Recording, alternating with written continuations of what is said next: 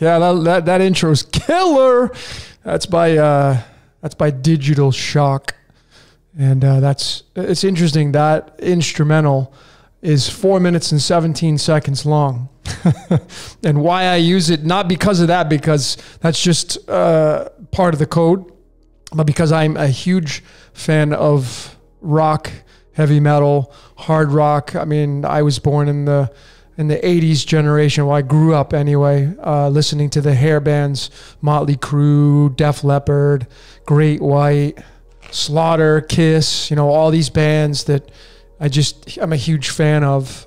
and so my roots are really heavily steeped in the rock and roll generation. And then, you know, you go back to the 70s, Black Sabbath, Led Zeppelin, The Who, uh, all these great bands. So those are kind of kind of my roots. So welcome out everybody to another episode of What's Your Question? Number 36. The Keys to the Universe.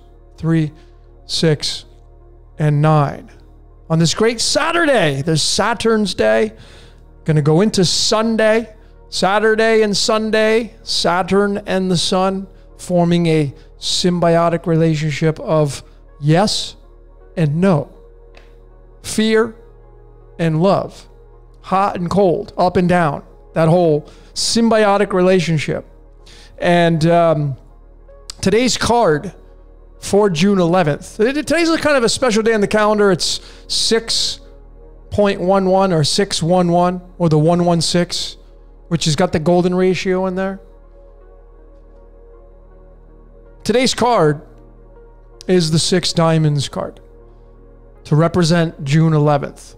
This is the 30 second card in the deck. And this represents duality. Because 32 degrees is what water turns into a solid.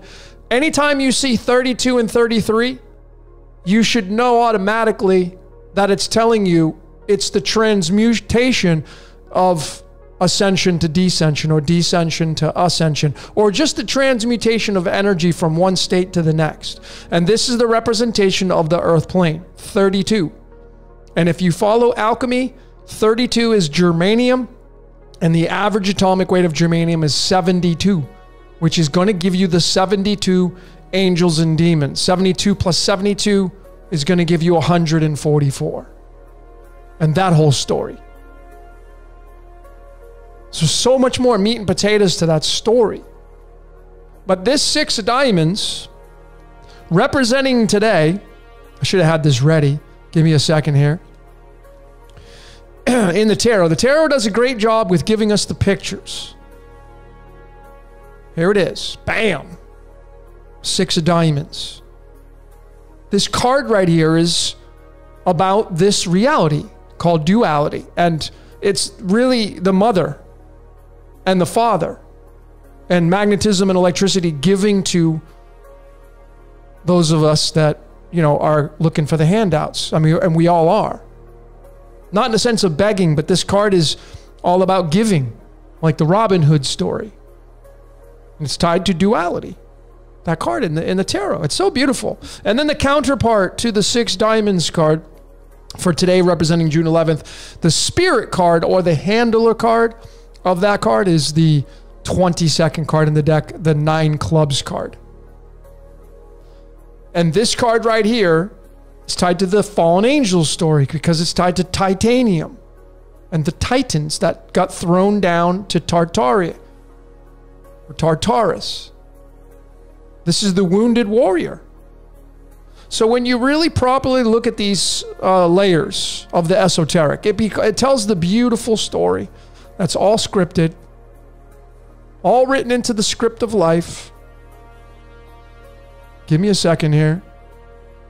This is why I love these cards, and it's just, they're so beautiful. And they, they're archetypes.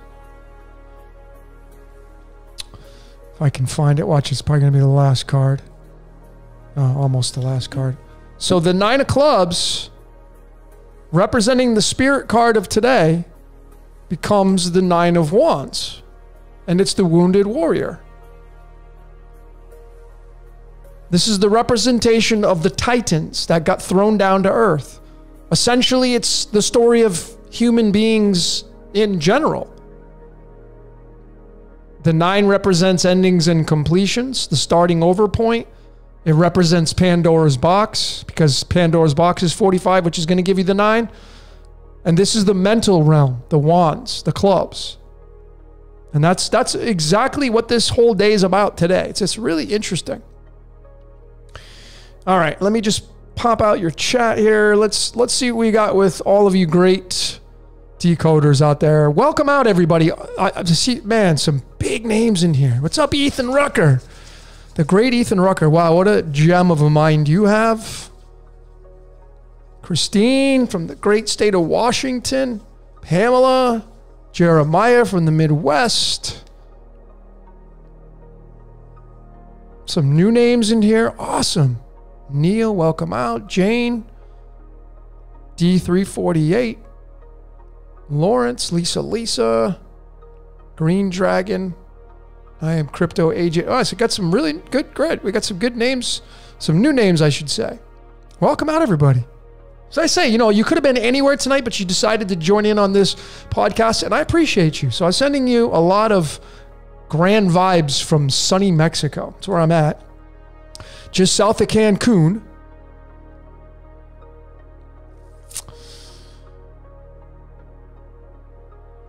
I just got done doing uh, the podcast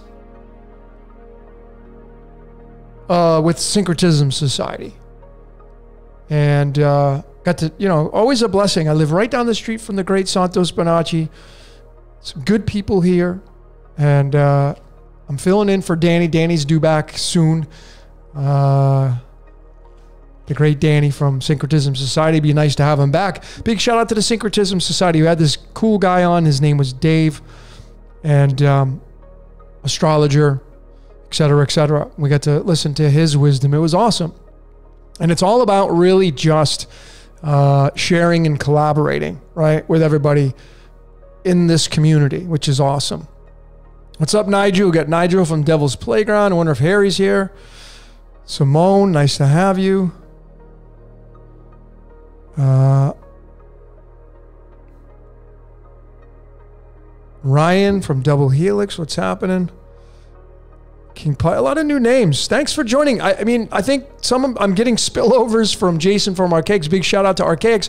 Big shout out to my great friend Jordan over at Waters Above Crypto. He does his lives on Friday around 5 p.m. And if you're not subscribed to his channel, please go do that. Uh, he does his live every Friday, and he's getting like me. He's doing like multiple hours and he drops a lot of gems. He has his own truth. We are very similar in our truths, uh, but very humble, very beautiful, soothing voice that he has. He doesn't have a lot of ups and downs. Like I'm very animated and zany, but he's kind of more calm, cool, and collective. Different style, but it's just he, he's just very soothing. So please, big shout out to uh, syncretism. Um, sorry, waters above crypto.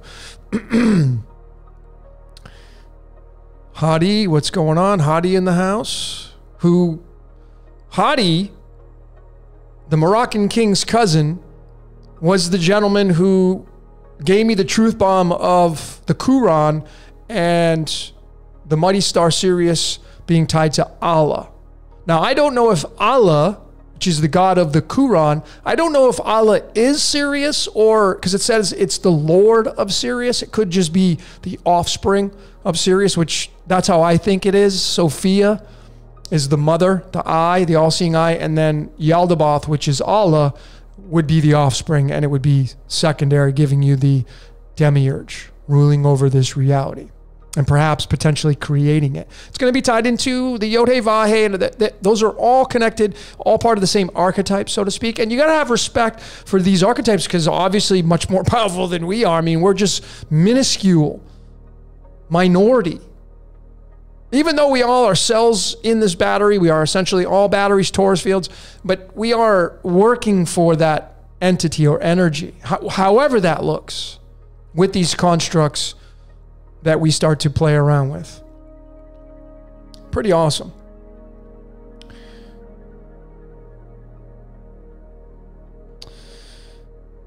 Yeah, they'll be doing some cards tonight. Um, I'm gonna probably do. I don't know if I'm gonna do singular ones, but I'm definitely gonna do a collective card pull. I don't know how long I'm gonna go tonight.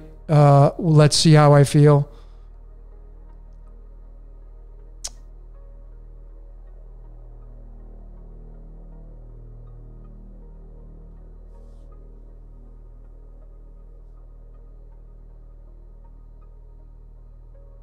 Yeah, it would be cool if all there was a chart of this written out somewhere. Yeah, it would be. A lot of people are, I have asked me, you know, why don't you have a book? And the average person reads one book a year. The statistics of writing a book and getting it to the masses is very slim. People like to watch videos. I like to be a content creator. I'm an artist as well. I mean, I have five planets in my third house, which is ruling the art of creativity and communication. So you tell me, you know, I mean, so I can write. Yes, I have a blog. I do blogs, but, and, and maybe I'll do some short books, some ebooks, but I'd rather do videos. People would rather watch. And the, the attention span's not even that high with the videos. I watch, I see that you should see the analytics the drop off is ridiculous. I mean, those of you that make it to the end of the video, I know a lot of my videos are long, but you know, when you when I have an hour long video, it's about 15% that make it to all the way to the end. Those are shit odds to capture the audience all the way through. So it's a minority. You're a minority. If you make it all the way through, you're in the minority. And I'm not saying that's the way to win, but you know, it's the minority. Yes, I will be taking some phone calls, but uh, I want to keep these very. Um, I want to try to keep them for the new people, but I do want to keep them very precise. No, I don't want to be dancing around and, uh, you know, I've, I've, I've really had to, and I don't mean to be an ass, but I've really had to go through and comb through uh, my whole you know, channel and, and watching my videos and how do I make this better, the better experience for everybody.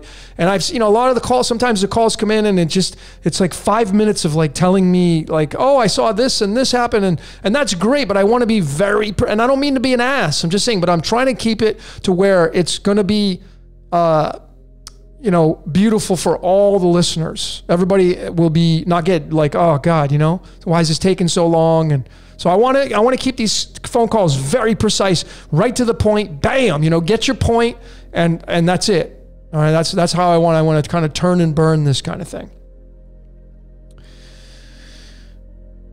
Okay.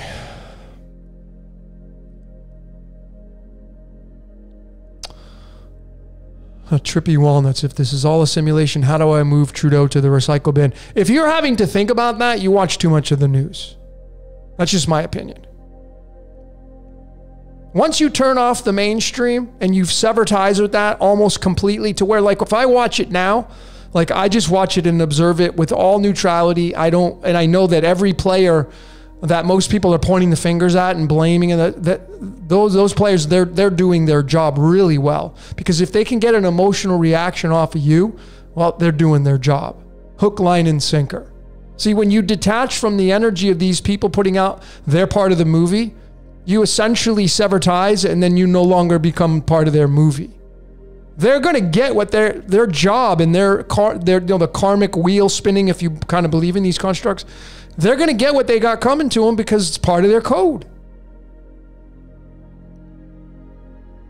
So I'm just, you know, I'm just pointing this out not to knock on you, Trippy Walnuts. I'm just funny name, by the way.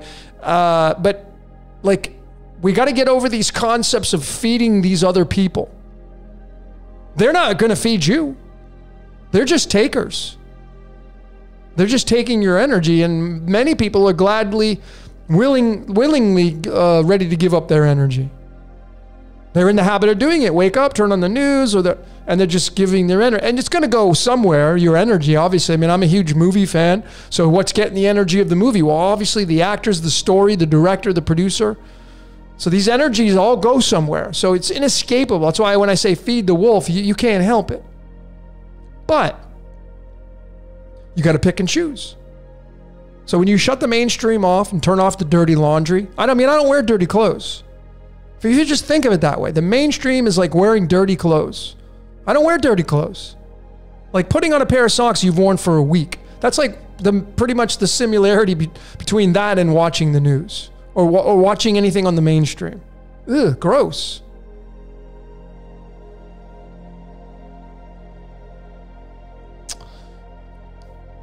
Yeah, Dr. Savage, nice to have you. You can watch him on my videos. You can watch a lot of people watch them on one and a half speed because I slow down. I like to pause, like I'm doing now, to get you to think. But if you just want to rifle through the information, YouTube allows you to put them on one and a half, two times the speed. Uh, AG native, what do I know about the 36 chambers of, of Shaolin? I, I haven't studied that, so I wouldn't be able to give you any feedback.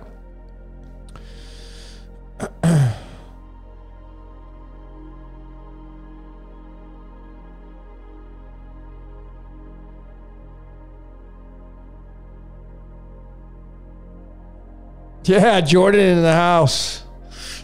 Jordan in the house. Waters above crypto. Yeah, brother. He, he his last podcast on Friday. He, he was like, take some take take some mushrooms, lay down on the couch. It's gonna be all right, brother. And he was speaking to somebody who was kind of like being a little bit out there with their with the comments, not being kind of incongruent with the with the vibe of the community in his podcast. He's like, I'm gonna put that on a t-shirt, and he's got the big mushroom there. I love it.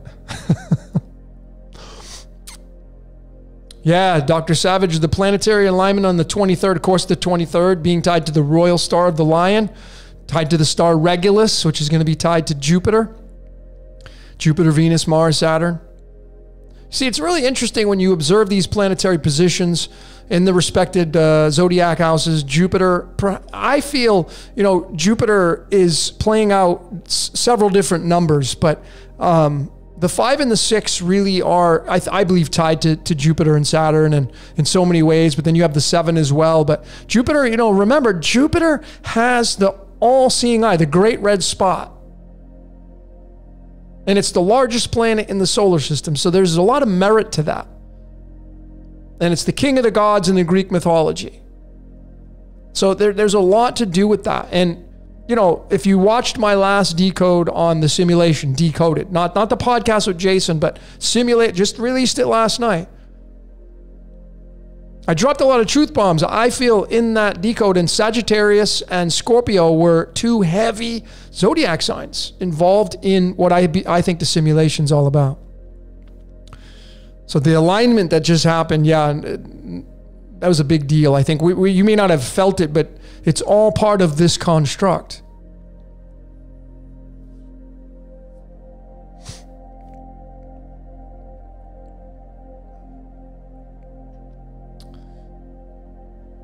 Karen Ream, how do you find your code? Well, start with uh, so I came out with a video uh, going on two years now, uh, how to decode yourself, and I would it's an hour and five minutes long. I'd suggest starting there. And then if you want to go deeper, I do have a course coming out. I do personal readings. Just send me an email, but it, it start there. You can do a lot just on your own studies. Those of you that love to decode yourself, how to decode yourself is the video I would start with. 10 different layers on how to break down your life. It's a good starting point.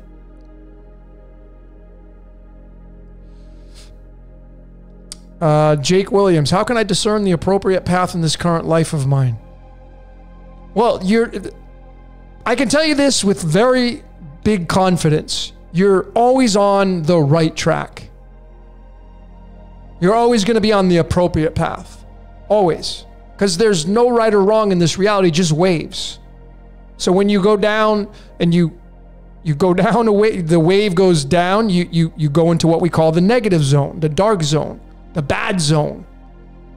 And many of us have all of us have ridden these waves. And then when you come up and you catch the trough coming up, that's a wave that we would call good, exciting. Oh, that was a fun time. Those are the waves coming up. And it's just essentially like surfing. Like, what does a surfer do? Paddles out, looks for the wave, rides the wave. And do surfers just jump off halfway? Like, you get on this big wave and you surf, and you ride in this wave. Do you just bail halfway through? A surfer's going to tell you, you're crazy. You don't do that. No, you ride it all as far as you can go. And that's exactly how life is. When the wave is what we call good, You want to freaking ride that sucker because it's not going to last. Let's not kid ourselves. And then when you fall off the wave or the wave ends, like if you have a business and you the business may go under or you may lose the business or got to file bankruptcy or some, some of you have had that happen. That's you, the wave has ended.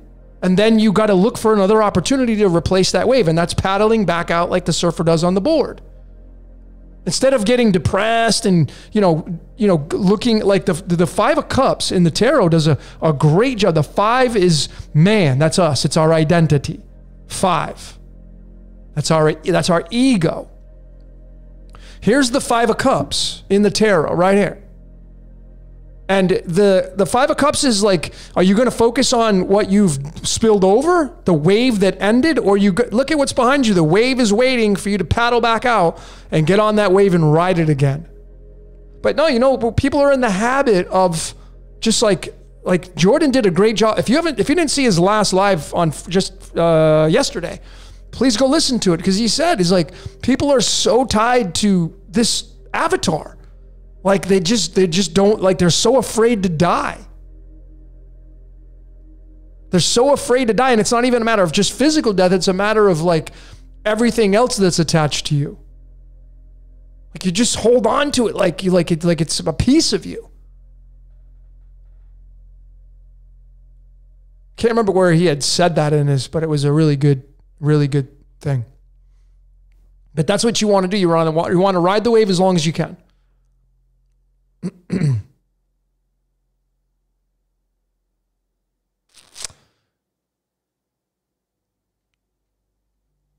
my email, if you're asking me, Nikki Greenfield, my email is decodeyourreality at gmail.com. That's my email. Let me just, hold on a sec. Let me just lower myself down a little bit. I'm off center. Someone mentioned I'm off center yeah, because I'm trying to, I'm, I'm putting the cards over here, so I'm trying to keep it. Okay. There we go.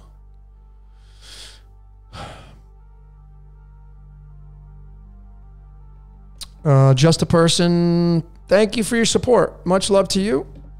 All you fans and supporters. I'm, I'm a fan of a lot of you great decoders, man. It's, it's all symbiotic. We all create a symbiotic relationship with one another, and it's awesome. Uh, AG Native, can you explain your logo, not the smiley face? Yeah, if you guys are talking about my, which looks like a, has a cross in it and all stuff. So that's my, what's called a sigil. And a sigil in magic is with a, with a logo or a name. It's very simple. You take the consonants of whatever word. So I took decode your reality. And then a really popular way to do a sigil is you break up all the letters individually, you remove the vowels, and you're just left with the consonants, and then you attach them, and that's what you see. My logo, which looks like it has a cross at the bottom, that's the T at the bottom. But that is all the consonants of decode your reality, all combined. So that's my sigil. That's just, it's a symbol. It's a logo, besides the smiley face, which is like you know I got right there. But that's the explanation for that.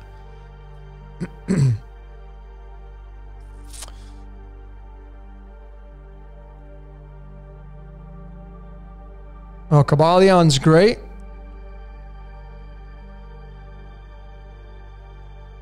Uh, how can I le- how can I learn to read tarot cards? Uh, well, there's a really good website called Teach Me Tarot. That's the one I refer people to uh, when I do my readings here, like when I pull cards for people. Teach Me Tarot. So if you go to your favorite search engine and type that in, Teach Me Tarot, should pull up. I think that's one of the most authoritative websites on the tarot. The descriptions, there's a lot of meat and potatoes to it. And you, you really to start is, I mean, I self-taught myself uh, with, I have like 10 books on the tarot, but you just got to know what the cards mean. I mean, and I know that's like, oh yeah, well, no, no, duh. But what does the real interpretation of these cards mean? And there are so many because you can look at the colors. It's multifaceted. But you just just start with the basics. Memorize the numbers, and there are several spreads because these cards bleed into one another. So the Fool, for example, like this card right here, is the zero card. It's got the zero at the top. And a lot of people use this as zero and card number 22. However, you can take the 22 out as this card and it would just move the ace of wands at card 22 and it would change the placement of all the cards after the 22nd card. And therefore, these cards all, what I mean by numbers, and this is just like when you do a compound number in, in to measure it in mathematics, like the golden ratio in pi, if you type in any number, you're going to get a bleed over. Let me, let me just show all of you that. When you go to this website right here called Subidiom.com, this measures up to 2 million digits any number you put into it in the string of the golden ratio, and then you have the string of pi right here. Okay. So if I just type in 35, it's a compound number, meaning it's more than one, it's two. So this 35 right there is going to occupy digits 9 and 10. So now you have a way to look at this with it's the 19. 35 is tied to the number 19. 19 is tied to the word battery. Simulation is 35. And so we know the simulation is a battery. But with why I'm showing you this is because this is the way the tarot cards work as well. When you go and look at tarot cards right here, these all will bleed into one another. So this 45th card, this represents Pandora's box will actually become card 44 because it will move down if you remove the Fool as card 22. Then this becomes the 22nd card. So it can get complicated for sure.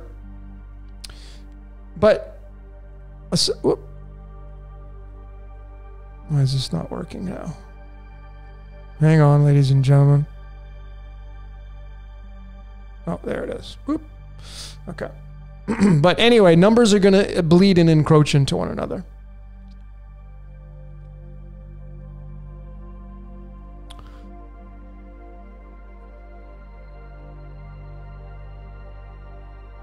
Dr. Savage, there are so many layers, but the more you learn, the more that connects. It's like you never stop finding more. Yeah, that's the thing about the source code. That's why I'm that's why like I have been very adamant and I'm very confident in my delivery and I say that, you know, it's the source code playing out. It's not man can tap into it, yes.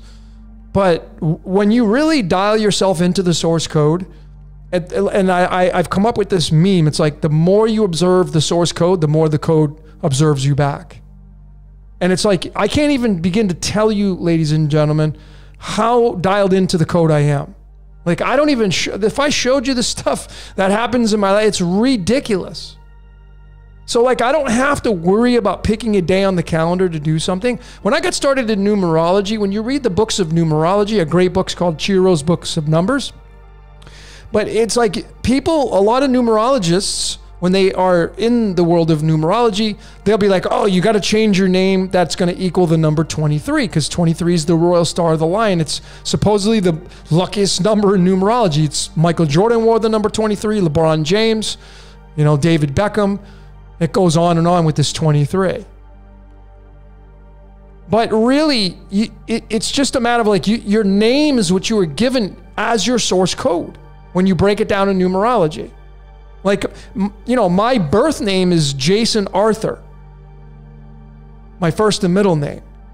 I changed my name not legally when I went in the military. I changed it to Logan. Long story, but anyway, I just kept that. But I wanted to keep Jason. So I decided to put it and move it into the Logan Jason. But in order to keep the numerology the same, I had to put the Y in there. I wanted to keep my numerology the same. And my first and middle name is 37, which, as you know, if you watch my simulation, 35, when you say 35, is 37. And I was born on the 35th day of the year. Uh, it's just ri- ridiculous, my code. So just remember, just respect your, like, your code is very special. It's unique, it's a snowflake. And, uh, you know, those of you that have gotten married or taken on married names, it's going to give you an extended layer of your code.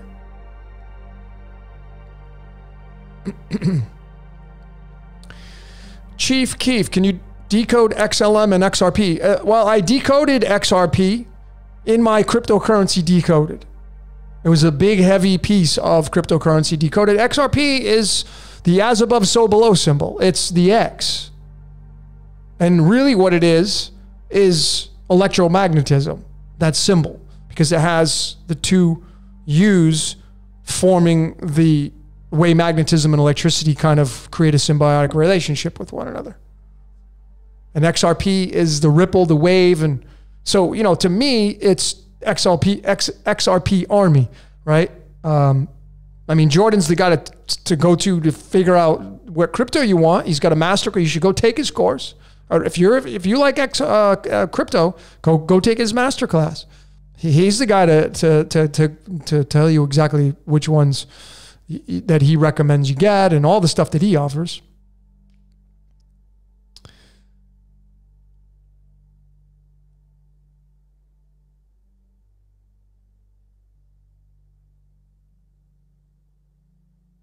Larry Bird.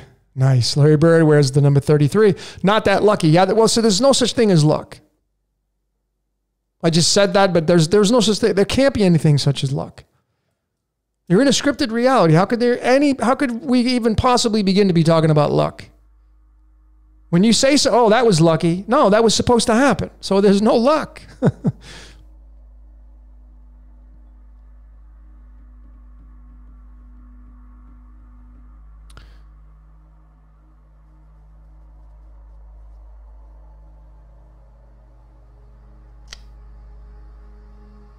What is the spirit realm? Fen, that's interesting. I'm not even going to try, try, saying your avatar 10 times fast. Fen, the freckle belly pup. That's what is the spirit realm?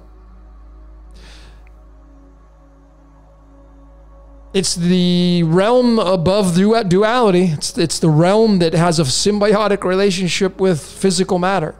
That's what the spirit realm is. That's how I would best describe it.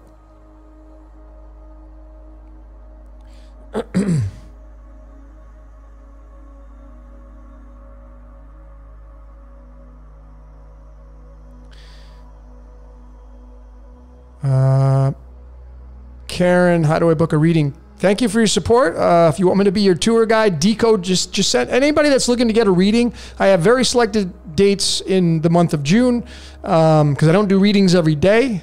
I, I, put a lot of energy into them, so I just don't want to do that, burn myself out. But my email, just send me an email, decode your reality at gmail.com and just request one. And I'll get back to you within 24 to 48 hours. Tomorrow's my off day, so I, I, I may return emails tomorrow, but I try to disconnect a little bit on Sunday. I was born on a Sunday. What day were you born on, ladies and gentlemen? I was born on a Sunday. That's why I got this tattoo on here. One of the reasons.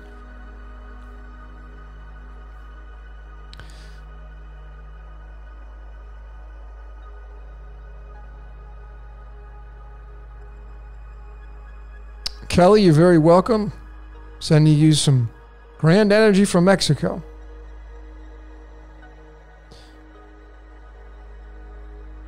Ethan, 20, Genesis 27, verses 8. I love decoding the Bible. It's such a fun book to decode. But remember, folks, it's, you know, I hope that you're out of the space of thinking that's the ultimate guide to the game. Just, just, it's one of many. And let me just give you a truth bomb, maybe, or, or a synchronicity. And I didn't mention this in my simulation decoded, but, you know, in my simulation decoded, I showed how the sine and cosine wave, the measurement of the number 35, ends up becoming the number 303 tied to the simulation, which there's the notorious 33. The 303. So I was like, okay, well, what, what area code has the 303? And lo and behold, it was Denver, Denver, Colorado. And if you know a lot about that city and what's going on there, well, you can kind of put two and two together. well, what was interesting is that it was founded in 1947, which is the same year that the Dead Sea Scrolls were found in the Qumran caves down there in the, the Middle East. 1946, 1947. And Denver was founded in 1947. Denver's latitude, longitude 39 degrees north, 145 degrees west. When you add those up, it's got to it's got to bleed over 143 slash 144. 144,000. So who wrote it? Who actually came to promulgate the Bible? Well, I can, I, I've done my research. Well, the Roman Catholic Church did. That's who promulgated the Bible.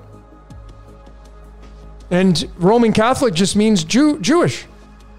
In, in my research, it's just it's it's kind of like it's a it's another layer of the onion. It's like, oh, I'm Catholic or I'm Christian. Folks, you're Jewish. Or I'm Protestant or I'm Baptist or no, you're Jewish. Let's just it's a duck, call it a duck. Why are we trying to play around and the origin of Christianity and Catholicism and Pro, it's all Jewish based. Has to be because the Old Testament is part of the New Testament. And those of you that follow the Bible and you're into theology, you can't have one without the other. And who wrote the Old Testament? The Jewish faith did. The Torah, the Tanakh. It's pretty simple. But people want to dance around, no, I don't. And they'll just, it's just, it's funny. It's just funny. I just think it's just, I just think it's funny. All right, so Jay, any thoughts on cusp birthdays? Yeah, cusp birthdays. Well, many of us have cusp birthdays because cusp birthdays are normally around the 20th, the 21st, the 22nd. And then your sun is going to obviously play into two signs. That's what a cusp means, being born on the cusp, like the winter solstice or the summer solstice or the spring equinox or but I'm not born on a cusp, yet I am still qualified in that area because my birthday, when you use Vedic astrology and Western astrology, my sun in Western is Aquarius, but not in the Vedic. In the Vedic, I'm actually a Capricorn sun. In my rising sign, I'm a double rising sign, Libra, Scorpio. So it doesn't really matter if you're born on the cusp the 20th, the 21st, if you are looking at both astrology charts, sidereal and tropical, you may be one of those people who are double sign, just like me. As well as the planets move, the moon could be in a different sign, and so you can take all, and and neither one is going to have seniority over the other. They both have their accuracy. If you're a fan of astrology.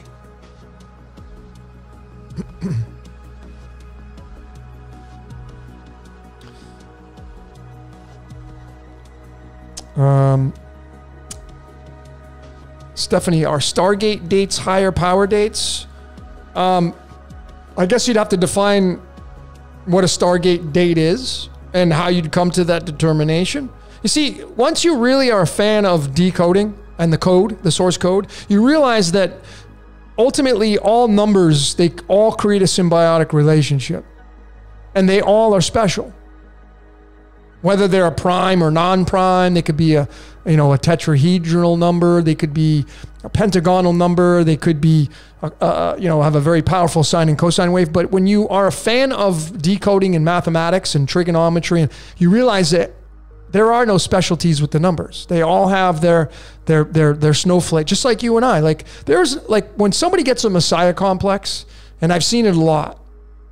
Like you know, oh, I, I, I was given this and I was like, okay, get in line. You know how many people I've gotten emails from saying that they have the truth? And then if I could, if I could put them all in a room, I'd love to be there to be a fly on the wall. Put all these messiahs in a room and let them talk it out and see what they come up with. It would be funny. So when it comes down to it, ladies and gentlemen, you know, you are special. You are essentially the universe, as I showed in my illumination decoded, the iris and the pupil.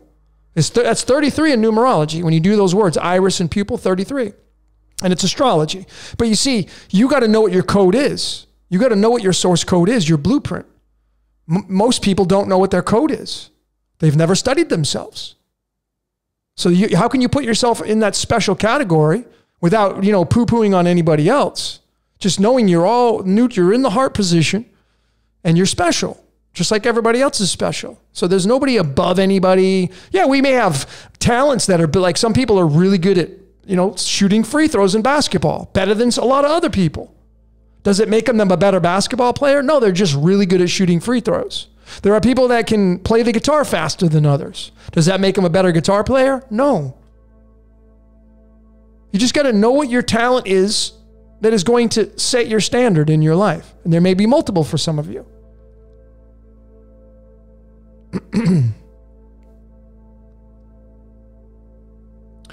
Muriel 226. 226, interesting number. That's tied to radium and Ra. Who stole from ancient texts and religions? Well, I don't think there's any theft going on. Everything just is, everything just happens. We just call it that. We label label it that. And these are just going to come down to an opinion. Uh, who wrote it? Who who manipulated it? We call it manipulation. Who rewrote it? Who plagiarized it? We don't we don't know. Just remember, the, the biggest standout is the kingdom is inside of you. It's not external. You ain't going to find it uh, outside of you. You ain't going to find it there. Yet there are so many people that are, you know, searching to make themselves happy. Uh, let me let me let me give you a big piece of if you guys are a fan of Landmark, which is a, I'm a huge advocate of Landmark. I've done their course 3 times. Landmark worldwide. I don't get anything from this company, just a fan of it. It's life changing. But Werner, Werner Erhard, the, the founder of Landmark, it's a personal development course. He said, he says, let me, let me give you a little secret. you ain't ever going to get happy. He says, that's a promise. I promise you will never get happy. Because you see, when you finally get to that stage of like, oh, I'm happy, then you'll conform to that. And then the shiny new toy that made you happy doesn't make you happy anymore. You're like, eh, I'm kind of bored. And, and it's like the honeymoon state relationships, honeymoon stage. The first kiss is not the same as five years down the line. Now, there could be exceptions. I'm going on averages the majority. We, we, we, we conform and then it doesn't have any luster left. Same thing with the cycle of life, the game of life that we're playing out. The game has a starting point and an ending point, and then it just bleeds into the new starting point. It's a cycle of life. It's baby to senior citizen, death, start over again. When it gets to the death stage, you're in the dark age. Where it's heavy ego, heavy fear, and then the game's like, and then whatever's ruling over this game, it's like, I'm bored with that. Time for a change. Out comes the broom, and the sweeping begins. And then whatever that reset looks like, and then the new game starts. And you got a fresh board. And that great, that great proverb says, when the game ends, the king and pawn go back in the same box. Think about that. So you're just an avatar playing your character. Got to know what your character's all about. And when you do that, it's so freeing because then you're you're it's like those of you those of you that are still doing the there-ness and those of you that are doing still doing that, you're just giving your gas away. You're t- the, the the two hours that you spend looking over social media, like you got your phone and you're like, you know, how, how do you ever catch yourself like this on social media? And like next thing you know, a half hour goes by. It's like, whoa, what the hell? 30 minutes you just gave to this box. Nothing, I'm not saying anything wrong with that, but it's like you're feeding this. If you took that 30 minutes back and you said, okay, I'm gonna take that 30 minutes and I'm gonna go build a, a house with it, I'm gonna start building my house. That's something constructive. That's something that will liberate you.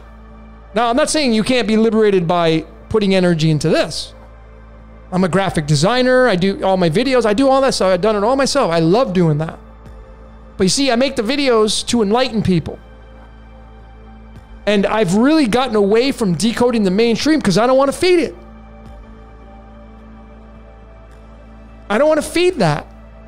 Because if I do a decode on the mainstream and the Illuminati and this and this group and like like I, I am gonna I have a decode coming out on the Society of Jesus, but when I come out with that decode, it will be neutral. There's no like bashing and I don't need to.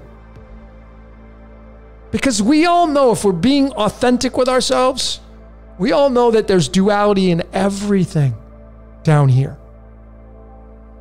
So if you take the Society of Jesus, for example, who have gotten bashed and slashed and hammered and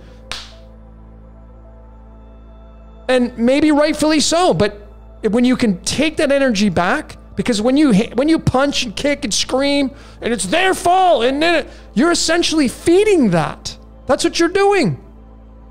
And you're giving them your gas. It's a bad move in my opinion. When you know how magic works, really really bad move.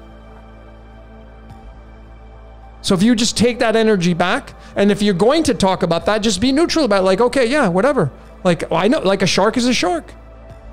Like if you're in the water and a shark's swimming around, I mean, you're gonna just sit there and like, hey, what's up? Some of you may do that, but most people would just book it out of there because it's a predator. I know I, I, had this huge revelation myself. I, I was reading about Yaldabaoth, the Gnostic demiurge and, and, and there was this author that said that when you stop blaming that predator, when you stop pointing the finger at that predator, it it leaves you alone. I, I really resonated with that. So when you stop and and and remember, ladies and gentlemen, whatever created this reality owns it all. It, it's got a monopoly. It's got a monopoly on the whole damn thing. It's a big Ponzi scheme. So when you're over there saying, rah, rah, rah, it's like you, it's like this, whatever created that is like looking down. It's like, really? You're gonna keep blaming me? Like you know your duality down here. You know you have hot and cold. You know you have love and fear. Yet you want to continue to point the finger. You want to do the scapegoat you, because you know why? Because it makes you feel good. It makes you real. You you feel good about it. You're like, oh, you and really land going back to landmark. Landmark says life's about looking good. That's right. That's the whole premise of being a human being. For the majority of people, is they got to look good in front of the camera. They got to look good in front of people. Watch what you say. I mean, I gave this whole analogy of going to the dentist as a perfect example of that. If you get a dentist appointment tomorrow, and you what's the last thing you do before you go to the dentist? Brush your teeth, floss them. You didn't do that yesterday, but you did it because you're going to the dentist. Why? Because you ain't gonna sit in that chair, open up your mouth, and the dentist is like, whoa, dude, do you even brush your teeth? You got food everywhere. But yesterday you didn't brush your teeth after you had lunch. Why did you do it the day you're going to the dentist because you don't want to look bad. It's very simple. It's so simple. That's a, that's a basic concept that if you can grasp that, you you're free. So life's about looking good. Walk around and you try to impress and not look bad. Why do you make excuses when you're late? Sorry, I was late. You know, there was traffic. Why do you not brag when you're early? Can I tell you why I was early? I'm half hour early. Let me tell you why. No, because you're not, you don't look bad. But when you're late, you're going to make an excuse because you don't want to look bad. That's the ego, folks. That's the programming of the ego. Well, see, when you go to the golden age, the starting over point of this reality, it's much different. You're at a baby stage. Babies don't give a shit what they look like. They're not primping their hair. They don't care. They got throw up on them. They wear the bibs, the diapers. They got poop in their pants. They don't care. That's the golden age. I'm not saying to poop your pants. I'm not saying to wear, you know, food on your clothes, but uh, what I'm saying is, is that when you get to the golden age, folks, it's not a matter of there's no pointing the finger. You realize you understand or understand the rea- the machinations of this reality, and essentially, when you stop pointing the finger, at whatever's because essentially if you're pointing the finger at these predators that you don't like you're, you're pointing the finger at what created them because it's controlling them. They don't get a hall pass. These organizations they don't get a hall pass from being controlled no. Nope. They don't get a hall pass. There's no like well I, it's like because I, I pose this question. And I and I, I I challenge any decoder out there that thinks that man's doing this that believes that there's an organic code. So here's my question. At what point do you decide that the organic code is no longer playing its role? What, when, when do you make that decision? I'll say it again. If you think man's running this code and you believe that there is an organic code, most, most decoders do, at what point do you make the determination that the organic co- code is no longer playing its role? Now it's man running it. It's like they passed the baton off. How do you make that determination? And you know what some people say? Well, it's because it's bad. Well, here we go with the devil thing again. Here we go with the, the whole boogeyman, Satan coming to get you.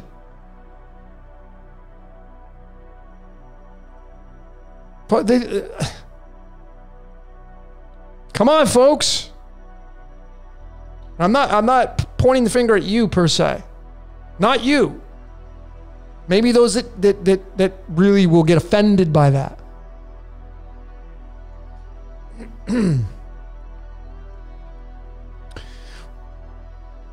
Apollo, Stargate. Why do we get created with the poop feet? Yeah, I mean, I, who the heck likes going to the bathroom, wiping your butt? I mean, maybe that's just a comic joke. Like, I'm to, you know, why do all the things that taste good are bad for us? And why do all, like, if you want to heal, you got to get the roots and the herbs. It tastes like shit. It's the cosmic joke.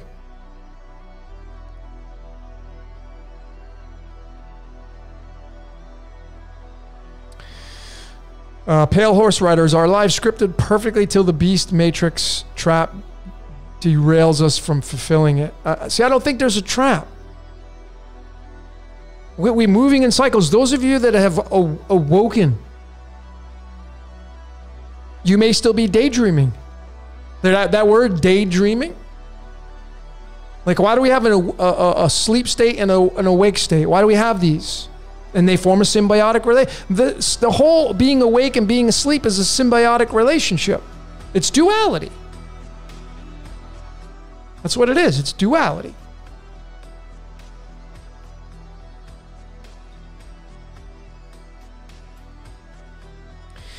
Dr. Savage, I think there are organizations like the Jesuits who abuse the organic code. You, how, I don't know how you'd abuse it when the organic code runs it all no matter what.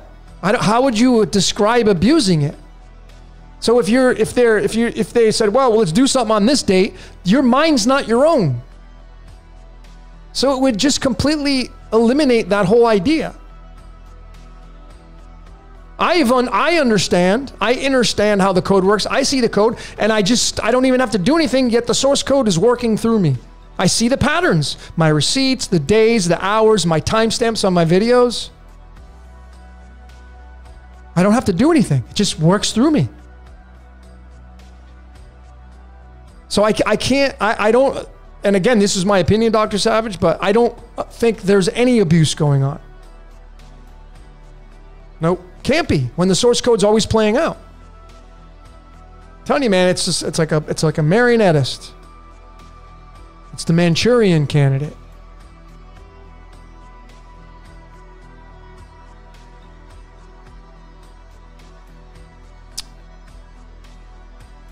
But why, why are we breaking free? Because it's in the script. It's like when you're born as a baby, when you come out into this world as a baby, there's no programming. You're neutral. That's why I suggest going back to neutrality. Because a baby, when it comes out into this world, you and I, all of us here, come out into this world neutral. And you want to go back out of this world the same way you came in, neutral. You see, when you come out of the birth canal and you're birthed into this world, you're neutral. And then over time, you get programmed with the matrix, by the matrix, by those working in the matrix. And then you form a symbiotic relationship with what we call good and what we call evil. You see, the church the church has a symbiotic relationship with the devil, the idea of the devil. Because without the devil, there's no church. There's no need for the church. If you don't have the boogeyman, what would be the point? The whole premise of the church is to be a good person And if you're not a good person, you're the devil. You're sinning. So you come out into this world neutral, and then you're automatically programmed by this reality called duality, and you form a symbiotic relationship all over the place. And you can't help it. But when you move back towards neutrality and just be more of an observer of the game, you're not in the court playing the, you're not pumping the basketball, you're not shooting, you're not throwing touchdowns, you're just watching the game. Just like you're being watched, just like I'm being watched. And then the true essence of playing the game is playing your game, not theirs. When you create a relationship with these organizations that you don't like, you have now have you have a silver lining to them. And now you're playing the game with them. When you sever the ties by stop pointing the finger, by you just stop talking about it. You take it your power back and now you're playing your own game more than you're playing theirs. And when you get really good at it, you get into neutrality, you just observe and you be like, "Oh yeah, I could just I could they're just they're doing their job. I don't like it, but they're doing their job." And then you you you spend less time focusing on their job and then more onto yours. That's where your bliss comes from.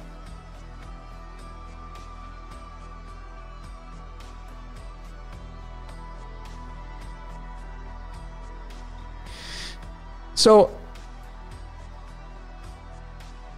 I am crypto. F the church and state.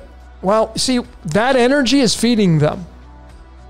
You're essentially that statement there, you just gave them some gas. Because if you that's a that's a Mars hate kind of energy. Very powerful magical spell. See, you, that's not neutrality.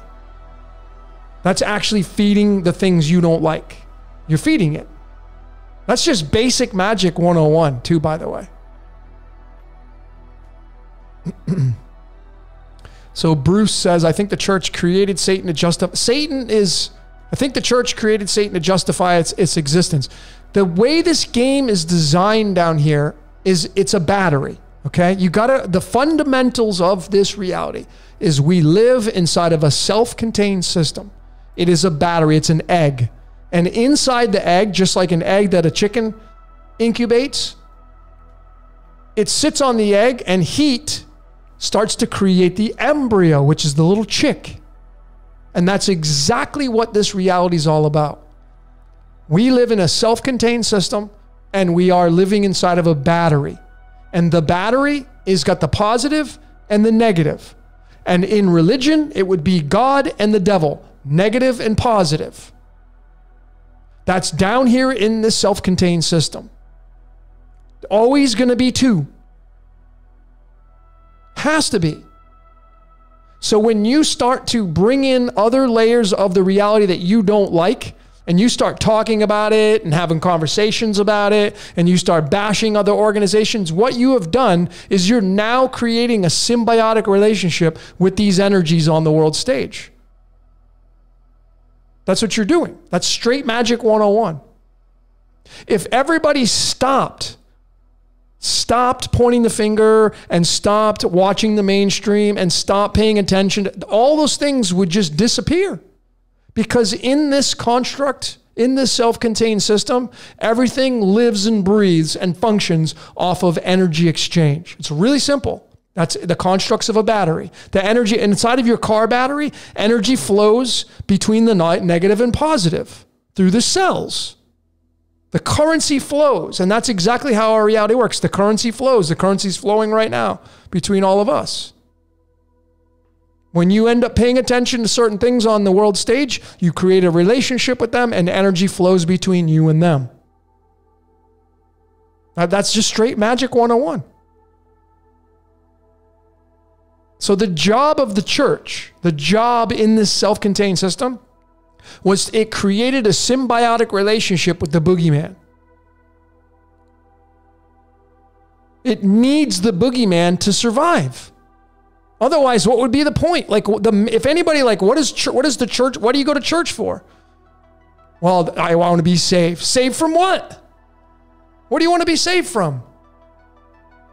And then you go into an idea and a construct that's inside the self contained system.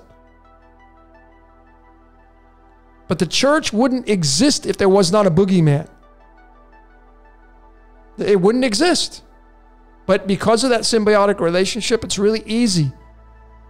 Symbiosis, folks. Negative and positive, good and bad.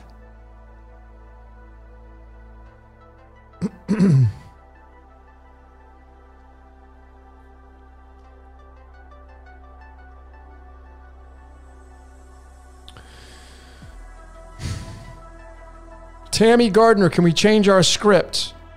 That's going to come down to an opinion.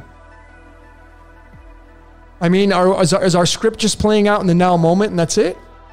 Or is this script playing out in all its totality? And it has a starting point and an ending point, and then it bleeds into the new starting point. Just like a book. We run in cycles. I mean, just look at the human being experience. Just look at a baby being born. The ba- a baby that's born will ultimately face death, inevitability. And that's the cycle of life. Whatever happens in between the baby's birth and the ba- and the senior citizen's death, all of that in between is called time. During that process of time, you will sin. Time is Satan. Time is Satan because Satan is Saturn, Saturn is Father Time, the tester. If you want to rise above that, stop doing the blame game. It's just so simple.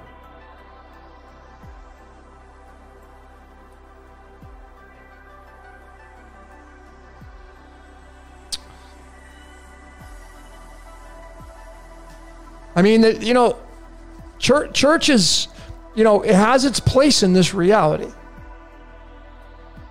Because, like, I've been, you know, I was raised in a really religious family.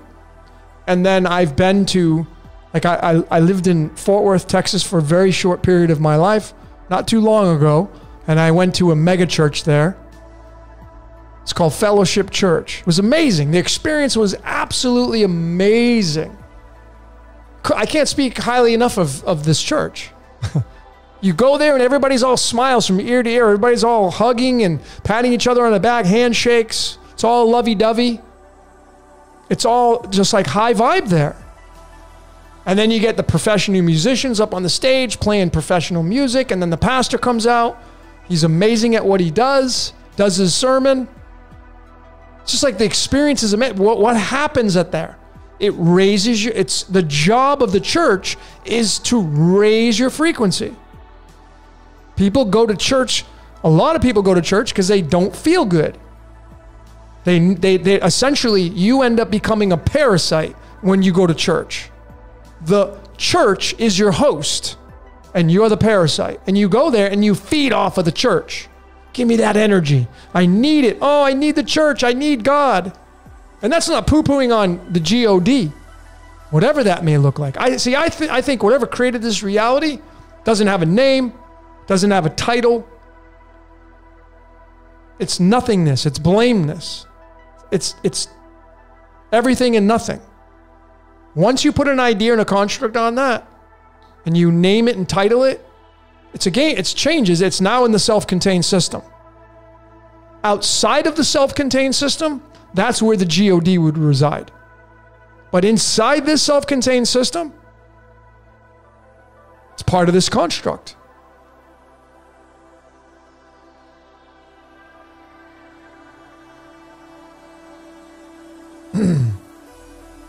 Michael Griffin, time doesn't exist. Um, well, when you grab your watch or your phone and you look at the time move on the clock, uh, what would you call that?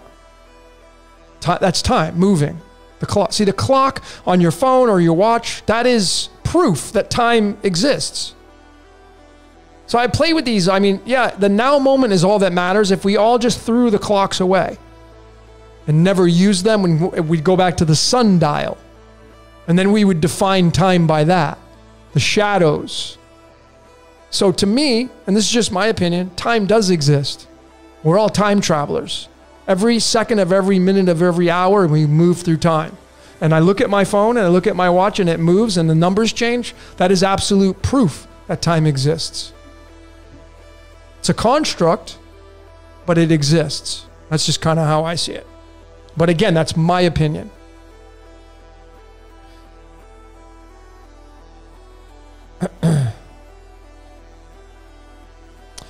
uh, any uh, another war machine? Any thoughts on how the uh, uh, any thoughts on how the luminaries above create a script down here below in this realm? Well, if you haven't checked out my illumination decoded, illumi- illumination is tied to aluminum, which is the thirteenth element. You know how big the thirteen is, and aluminum comes from the word luminary. Luminary. And so you have the constructs of the luminary bodies outside of this, this self contained system. And that's all I can say about that. I, I, don't, I don't really know how this script is created. I just don't. Maybe there's a boss per every cycle. It's like, you know, a boss has a company and then the boss gets replaced by another boss. It's very possible that the boss that ran the age of Pisces lost its job or its job is over. And now the boss that's going to rule over the age of Aquarius, different boss, different luminary. These are all just ideas, though, right?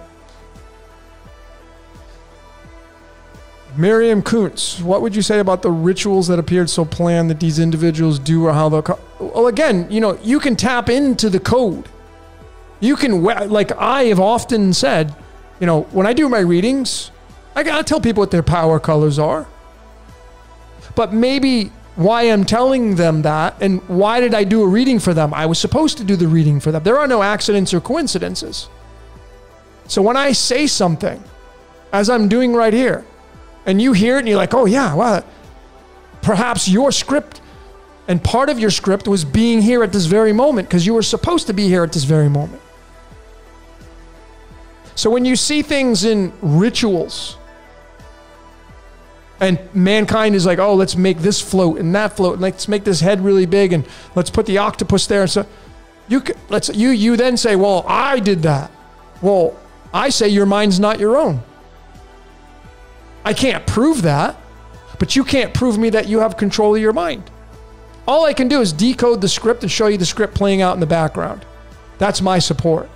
So if I were to go to a court of law, if we were to go to a court, if I were to go up against somebody who says, no, I'm in control of my life, and we go to a court of law and we sit in front of a judge or a jury, what would you present for your case to prove that you're in control of your life?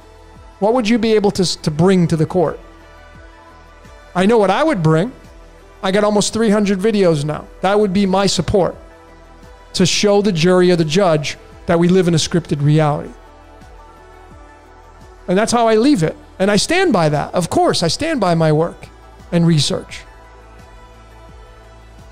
So I, I these things appear to be planned out, but are they really planned out?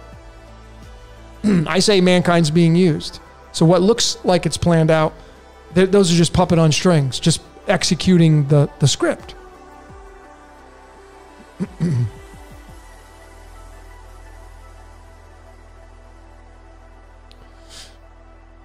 Uh, Magic Crypto Millions. Oh, thank you.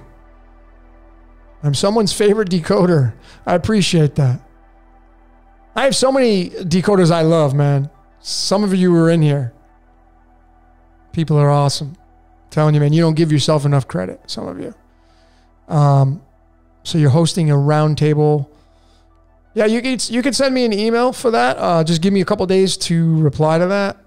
Uh, I, I'm not gonna agree right now. I just I'll check it out. Want me to be a moderator. I don't know what that would even be, but send me an email.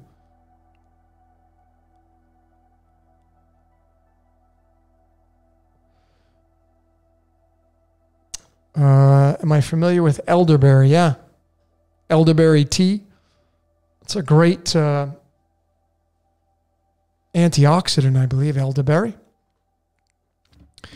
Jay Hood, what's your thought? What's your thoughts on the multiverse? Are you talking about fractals? Um, I think it's a really good possibility that we're there's multiverses. Doctor Strange, The multiverse just came out not too long ago. Um, it's very possible that we have fractals, and there are every single countless possibility going on simultaneously at all times.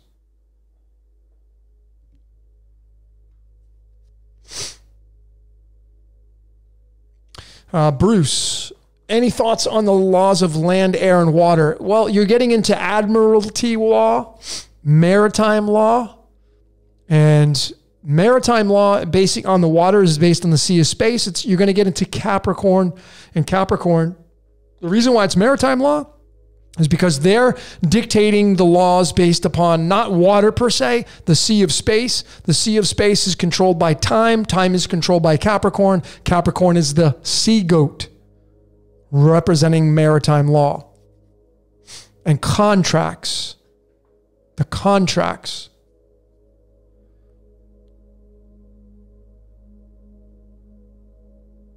Uh, Enki, have I heard of the Ben Ben stone? I, I that sounds familiar, but I don't remember. I can't. I don't have enough recall to tell you anything about it, but it looks familiar. But it may be something else that I'm thinking about. Uh, John Ryan, tell us about the numbers three, six, and nine. Well, take the al- go to alchemy. Go right to the periodic table. Take the 53rd element called iodine. Its weight is 126.904, and then go take the 95th element, which is americium, which is the am, the I and the am. I am. Americium has a weight of 243. Take 243 and add it to 126, and you're going to get 369. That's the I am. It's all about alchemy, folks. It's all about alchemy.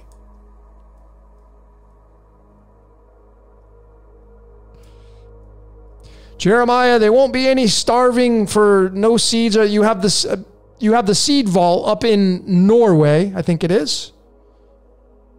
And why I think the seed vault is located up in one of the farthest northernmost towns in the world is the the first will be last and the last will be first. And it's very possible the reason why the seed vault is up there in the most farther northern points of the United uh, of the hemisphere is because that will no longer be the northernmost point. And you're going to get the seed vault and all the seeds are going to be in there and you'll be able to start planting stuff. But as I said before, don't go plant vegetables and fruits because of fear, because you're afraid that there's going to be food shortages, and plant them because you love Earth. And maybe you just want to grow your own food because it's better than buying stuff that you're, you know, hoping that it's going to be good food from the farmer's market or the store. Because if you're planting because you're afraid something bad's going to happen, the energy that you're going to put into the vegetables that you're planting is going to be based on that fear energy. Fear energy is going to be playing out through you. The body is the instrument of the mind. So if you're planting vegetables in the garden because you're afraid that there's going to be some apocalypse going to happen, the energy of fear in your mind is going to move through the instrument of your body and you're going to put it into those vegetables and fruits. Plant it because you love yourself and you love your body and you love your family and you love earth and you want to plant food because it's a healthy thing to do, not because you're afraid that food shortages are coming.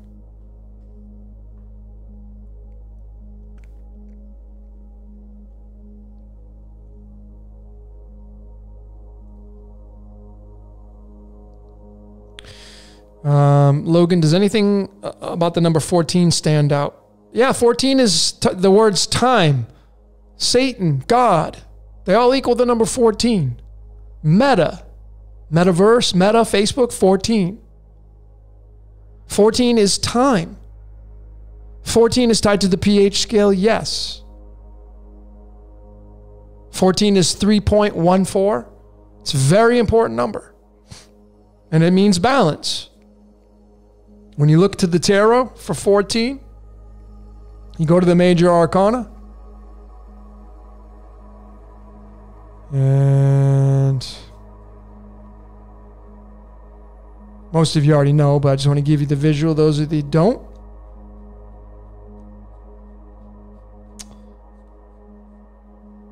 I don't even know where the hell it's at. 14. Am I missing it?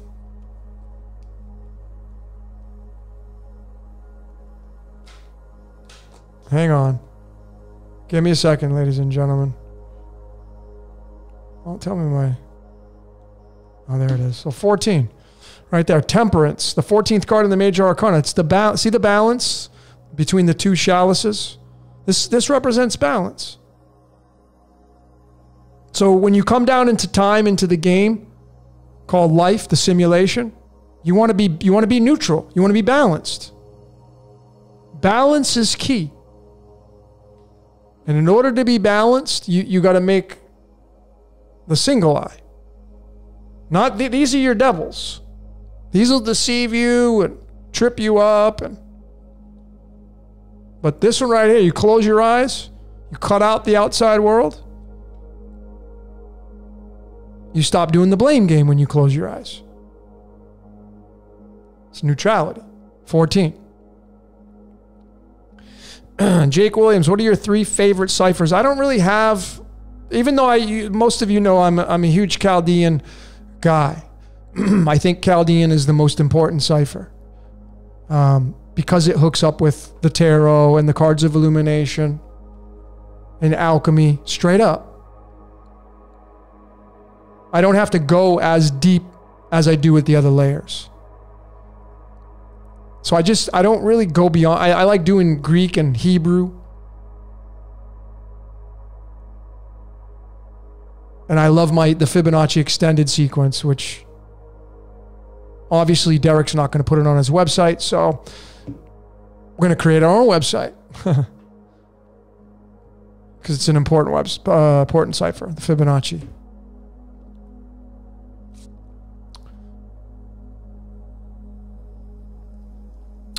What's your thoughts on astronaut aliens? Eh. I don't really have a thought on that.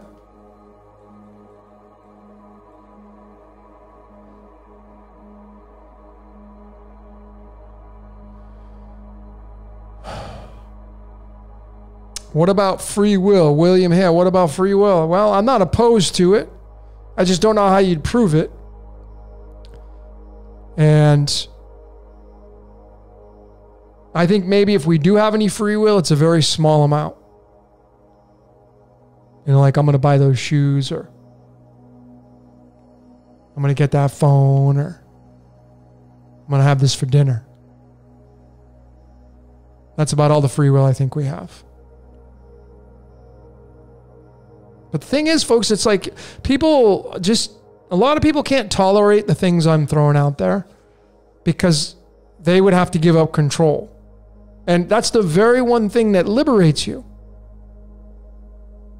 When you try to control the situation, you when I say this, think about what I'm telling you. When you try to control the situation and it fails, the normal reaction to that is negative. It's negative when you fail at the mission that you set yourself out to get and do.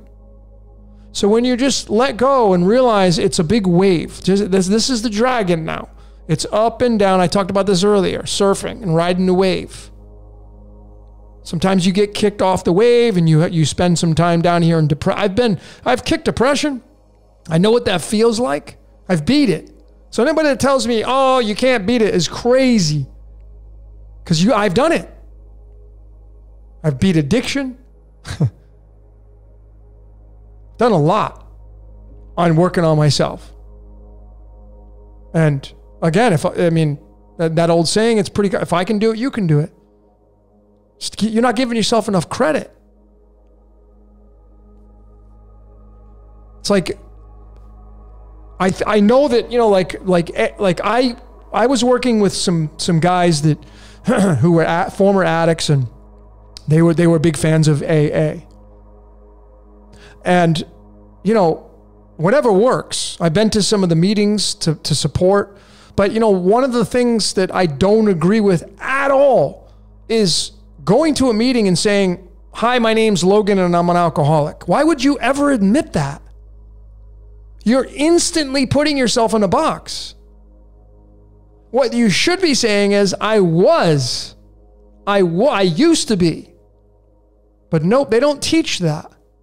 And essentially, you create a symbiotic relationship with your addiction, just like you do with the church and the devil and the boogeyman. And so it's like, okay, you may not be able to go into a bar because you don't have the self discipline. You may not be able to have one glass of wine because you don't have the self discipline. But don't sit there and say that you're this when you're not, when you've done so well at it. I just, just those concepts, I just strongly, I'm completely against.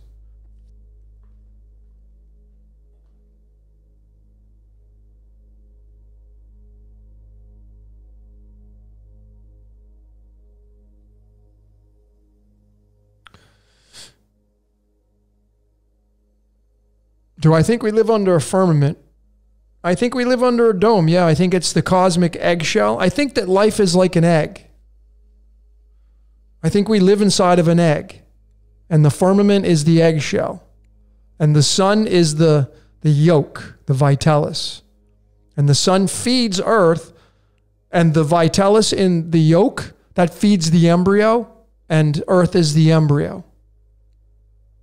That's how it works.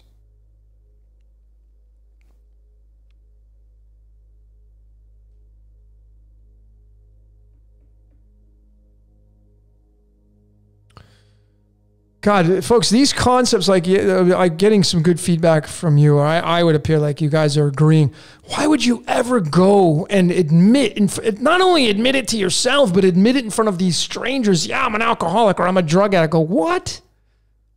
Okay. Keep getting more of that. You just create a symbiotic. If people just really were taught how magic works, which should be taught in school. If you're if you're a parent you should be teaching your kids how magic works. Straight up 101. Everything you say is a magic spell. Basic. If I had a kid, I would my, my son or daughter, hey, listen, whatever you say, you're creating through your, your voice. It's a magic spell. That's why they say, how do you spell how do you spell your name? What's the spelling of your name? Pretty basic common sense stuff. But like that's how you're going to raise the frequency of the planet is becoming aware of these concepts. Not going to an AA meeting and admitting that you're an addict when you're no longer that. Because when you when you say that magic spell that hi my name's this and I'm an addict like you have you're keeping yourself in that contract. That's that's ridiculous. Now, again, I know the program works for people, like it, it helps them. So there are, you know, good parts to it. But that's the worst thing of that whole program is admitting that you have a pro, as admitting that you are that. I mean, you can say, yeah, I have a challenge with alcohol or drugs. Like I can't be around this drug or I can't go to the bar. Okay, fine. So don't do that. But why would you ever Say that magic spell that you are that. You were that. That's why you're going to the meetings. God.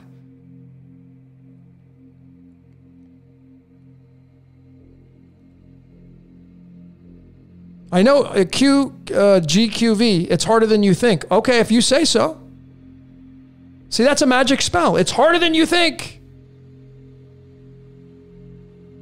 If you say so. How about it's just it's challenging? It's challenging. Some people can't go into a bar. They just they just they would lose. It's it's like a losing battle. They'd lose out. Okay, so you know not to go in the bar, so just don't do that and you that's a win for you. Pretty simple.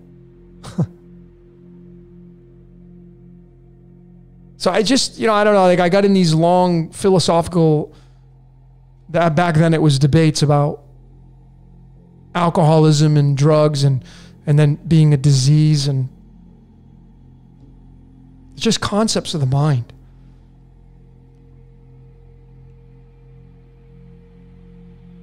Yeah, anyway, church is like an AA meeting. That's right. That's what I was saying is like this mega church that I went to is amazing. And people go there because, oh, yeah, I already talked about the parasitic and the host. People go to church because they need it because their life is empty without it. They say that because something in, they have a void in their life.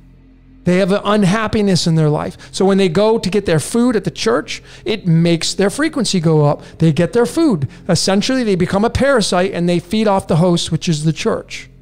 You see, when you're in neutrality and you're okay to be alone, you don't need to be in a relationship. You're you've won. You're free. You're free.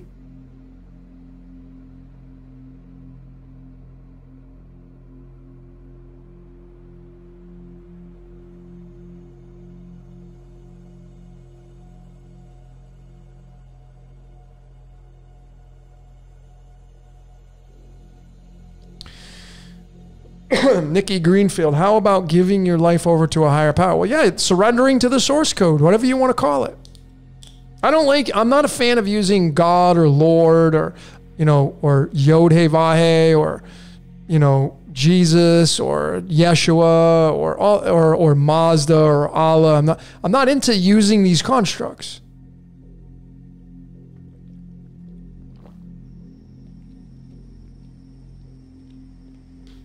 I think there's a source beyond the source, and that's what I'm interested in. And it's unnameable. Can't put a tag on it.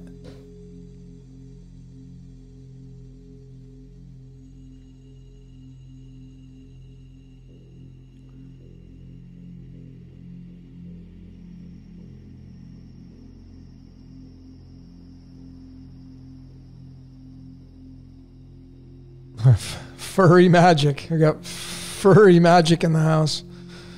See, I'm all about I'm all about uh, animals. I like animals more than I do humans. I live with insects. I mean, I in my um, in my casita here in Mexico. Um, I got all sorts. I got, you know, fruit flies are a pain in the ass. You, you know, you, you buy fruit at the grocery store, you bring it home. I got fruit flies, and they, they just they just end up migrating into my shower. Um, you know, I, I mean, I'm clean. You know, I clean my stuff out once a week. I do my my Cinderella duties. Uh, but the fruit, I, like I got fruit flies and they grow and then they go in the shower and they just sit there and I'm like, I'm whatever. You're gonna die eventually, but I'm not gonna kill you. There's a spider up in the window. He's doing his thing or she's doing her thing, whatever. I just, I just, I'm, I'm marveled at insects. I've always been marveled at ants ever since I was a kid. I don't have my medicine cards. The, the, the ant's the 30 second card representing duality.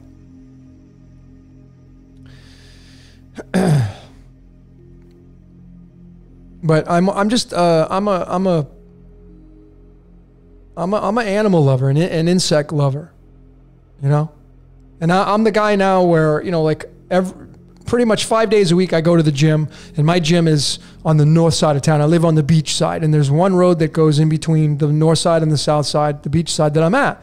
So I normally take the community bus or the taxi into town, which is like two miles, and then I walk back. And when I walk back, I'm conscious enough, usually, not always, to be looking at the ground when I'm walking. And as I'm walking down the sidewalk, there are tons of bugs. A lot of ants, a lot of lizards. The lizards just book it as soon as they see you, but the insects that are walking on the sidewalk with you, I mean, are you consciously in this space of being in the now moment? And are you overstepping the insects? I mean, they got families too. The ants, they're all working together as a unit, as a team. A lot of people don't they don't pay attention. It's just they're killing you're you're a killing machine, human beings. Constantly. But you wouldn't know that because you may not being in the now moment. But that's what all life's about. It's life is about death. It's inevitable.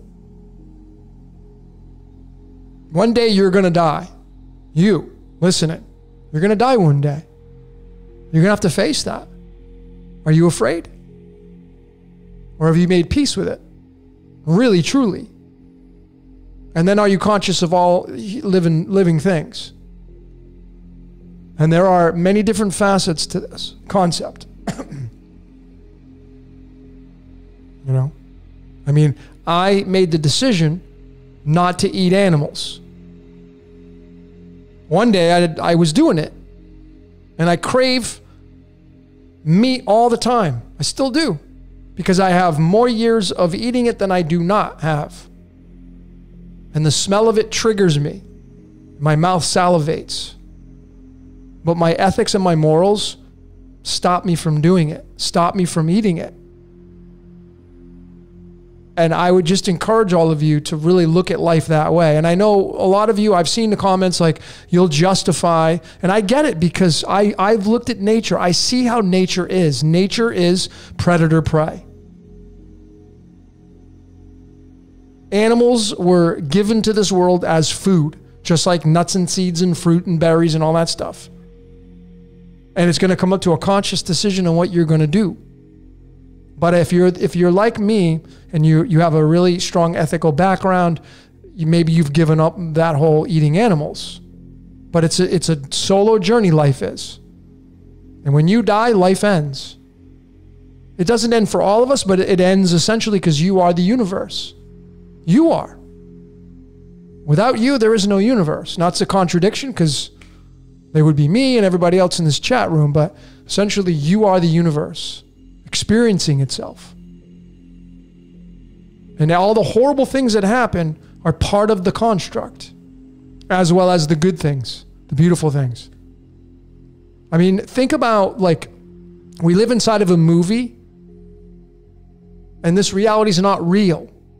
It's real to us, yes.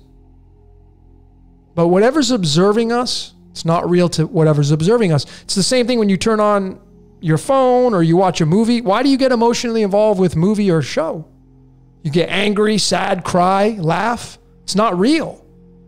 Because at that moment that you're paying attention to it, you can't distinguish what re- what's real and what's not real.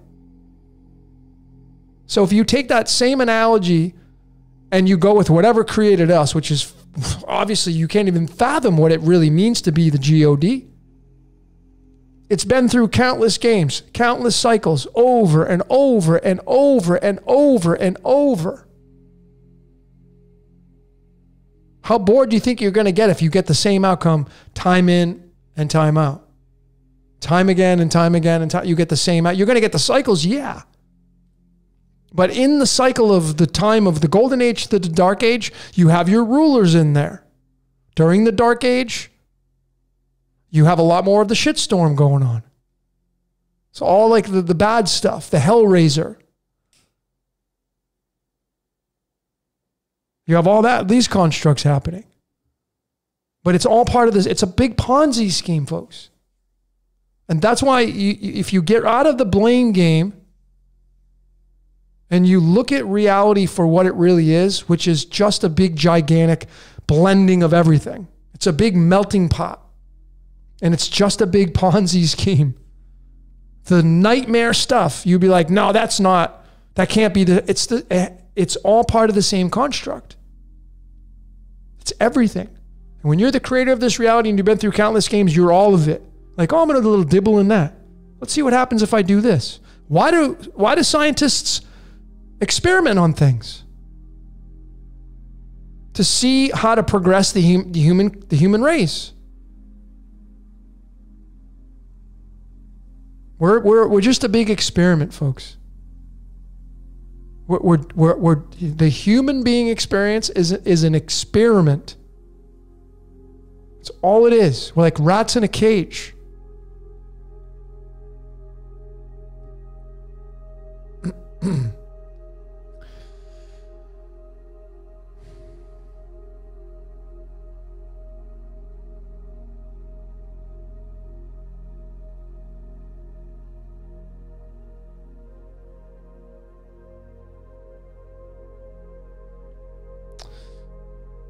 James says the book's Secret Life of Plants shows how plants feel pain when being eaten.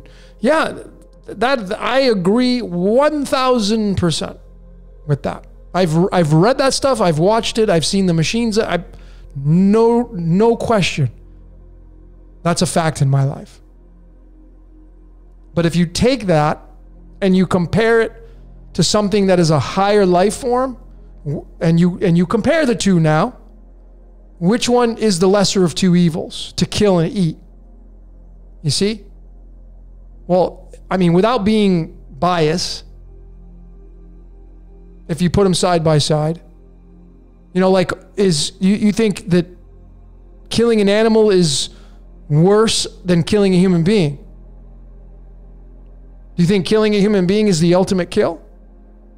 Or do you think killing an animal is worse than killing a human being? Well, the majority of you would say killing a human being is the ultimate kill, the, the worst of its kind. Because you observe this reality as mankind being at the, at the tip of the pyramid, the highest expression, which means you think you're superior. If you believe in that construct, you would think that the human being experience is superior to all else. Well, I mean, obviously, you have room to justify that because the human being is the one that can feel the emotions in different ways than animals can. In all ways and shapes or forms, we communicate in the more masterful way and create in the most masterful way. So, yes, it would be the creme de la creme, the human being experience. But you see, when you put yourself at the very pinnacle of the pyramid, you now have put everything underneath you, and now everything underneath you is subordinate. And I personally feel that's the wrong way to look at it. Personally, I feel that everything is equal. And when you get to these layers of consciousness of where everything's equal, it it's a game changer. But going back to what someone had said, the secret life of plants, they feel pain. Yep. But side by side, the, the, the, the, the mechanisms of a plant versus uh, a cow or, or, a, or a chicken, far different. But I but I've I've studied the farms. Folks, I've studied the farms beyond the scope of what people study farms and the machinations of a true farm, how a farm operates. A farm that you would think like how does it what does what does a farm have on it? A true farm. It's got dogs and pigs and chickens. It's got eggs in the hen house. The rooster crowing at sunrise. You know, it's got the shepherd there, it's got the sheep. They all play their role in this ecosystem. And when you take a piece out, when you take a piece out of that ecosystem, it changes everything. So eh, the, the ugliness of this reality, and again, this is my opinion, but the ugliness, as we call it that, now these are ideas, the ugliness of this reality, it is a, it is a, is a system that is built on predator prey. It is built on a system of survival of the fittest. That's how it's built. They did a study in Yellowstone National Park. They took the wolves out a natural predator. And it just screwed everything up. And then they introduced the wolves back into Yellowstone National Park, and bam, the ecosystem not only did it go back in order, but it started to thrive. So, you know, why did why is veganism so big now? It's huge. Well, it's part of the script, right? There are a lot of people that consume animals, and there's an overabundance of that, causing perhaps a lot of chaos. And in order for the earth to balance itself back out, it needs to move back to balance again. Just like the wolves get put back into Yellowstone National Park. So when we go back to the golden age, and it's a fresh start, and maybe we're using our telekinetic powers and maybe we're just you know we're we're perfect human beings again. That cycle will it will end in the demise of mankind. It will end in time. Time will decay.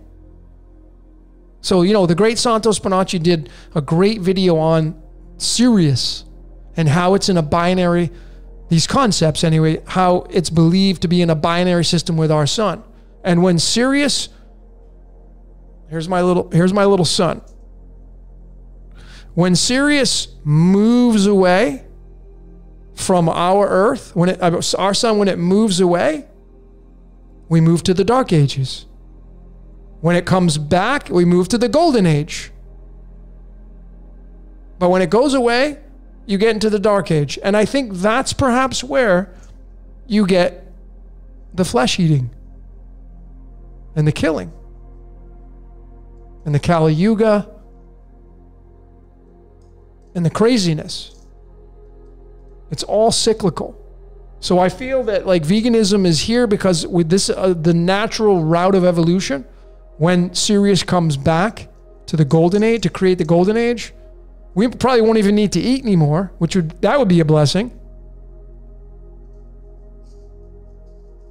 But I feel like these concepts are you know the way it works.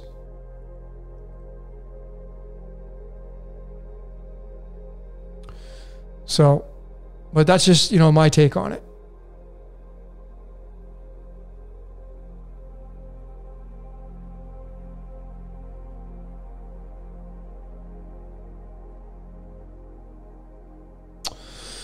All right, let's let's talk about some dark shit. I love it.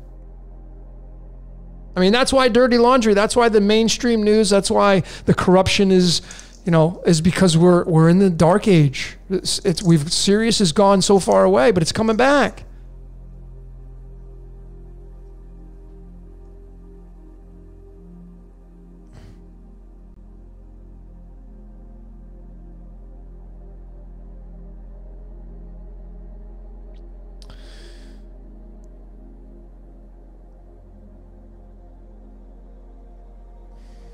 Do plants have a nervous system?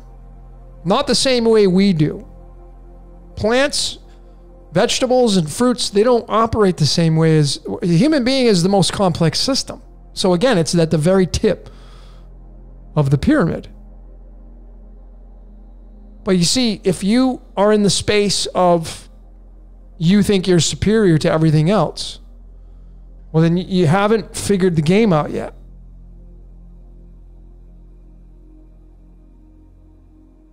When you start to treat your your animal, your pet, your furry, and, and many of you do this. You, you let them sleep with you. They sleep in the bed with you. You let them lick your face. You let them do a lot of things that, you know, are kind of funny in a way. That, that's you loving the pet and then you become one with the furry dog, cat, whatever. Like I, I could never have a lizard in my house if it was in a cage. Because why would you? It's like you being in a cage. Do you want to be in a cage? Like I see lizards all the time. I'm walking down the street, and they just they their senses like they book it. As soon as they see you, bam, they're off into the woods. The little lizards, chameleons, whatever.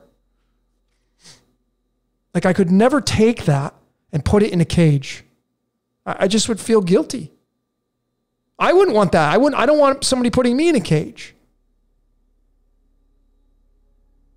It's like you know having a, a, a furry like a dog or a cat. Like you, you know, I mean, you may have to put them in a kennel or crate train them, or. But most of you that have a pet, you probably let them. They roam around the house just like you. They're they, they're one with the family. And they have unconditional love. Pets do. That's the one thing that human beings don't have by default. Unconditional for their owner. Maybe not to a stranger, but to, to their owner. Those of you that have bonds with your furries, unconditional. Human beings don't work that way. There's conditions. Because you're at the high when you there's there's there's a price to pay by being the highest on the pyramid. There's a price to pay. You don't just get the red carpet rolled out and unconditional love is, is your default. No, doesn't work that way.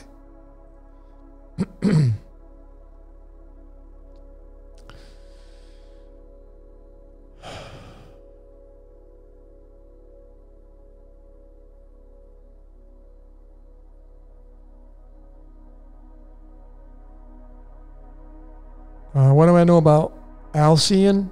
Tower 137, uh, nothing. Thank you, Divine Light Hazel, for your support. Sending you some love from Mexico. Uh, how far are we to the golden age? I couldn't answer that. We, we could potentially have many years ahead of us of more of the shitstorm.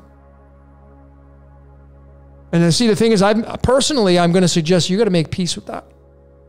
Don't have any expectations, because if you have an expectation of like, if I, if you, if you, someone, someone that you really trusted said, yeah, five years from now is going to be the reset, and you banked on that, and you, you then take that construct and you revolve your life around it.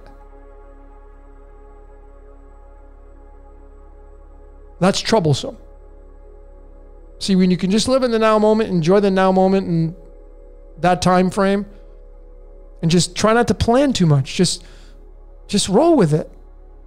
Because if we are headed into a darker age, which we could be, could be heading into a very dystopian world. And there's nothing you can do about it. What are you going to do? You're going to get mad, angry? It's just going to create a lower frequency for you and those around you.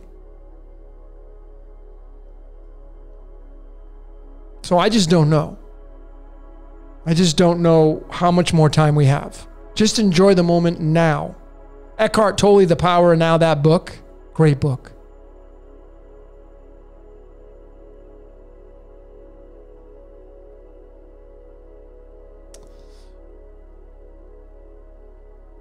Uh, see, Lacey, I miss our orange sun.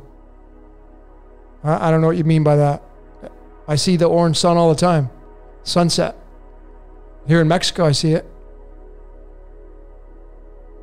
Do you not see that in your part of the world?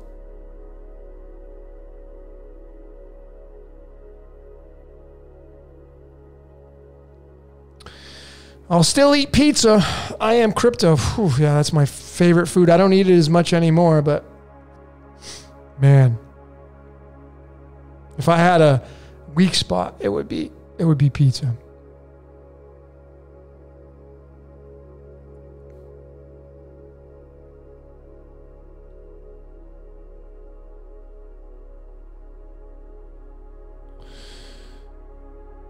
Phoenix, uh, Ethan, what is the Phoenix weapon? Is the same as kill them all that God sort them out.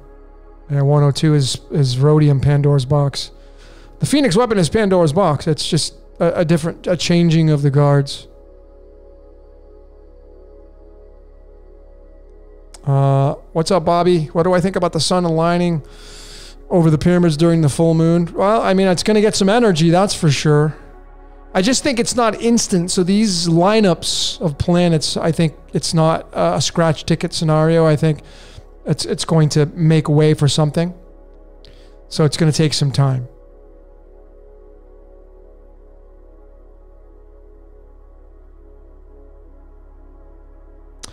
Vegan pizza, cashew cheese, it doesn't have to be bad. I have yet to find a cheese that has replaced mozzarella. So, I mean, I've tried some and I'm open. I, I'm probably, you know, if, if I do end up moving back to the US and I get back into some some pizza again, I, I that's one of the things I miss.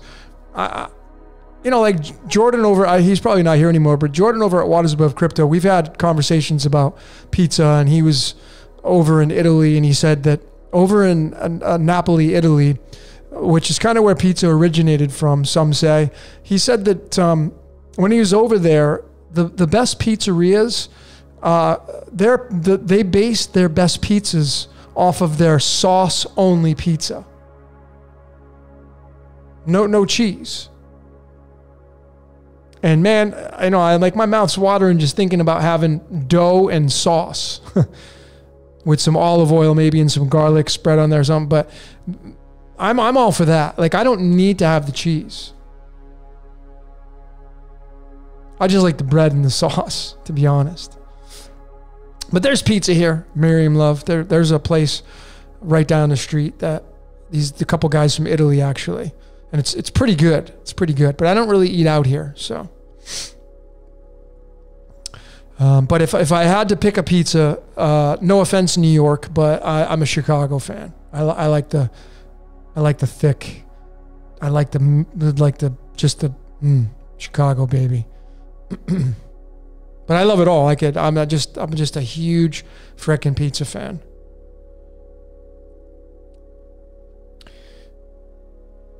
Uh, uh, what's my thoughts on on your birthday and destiny? Well, it's just all part of your source code. I don't really know what you mean by that.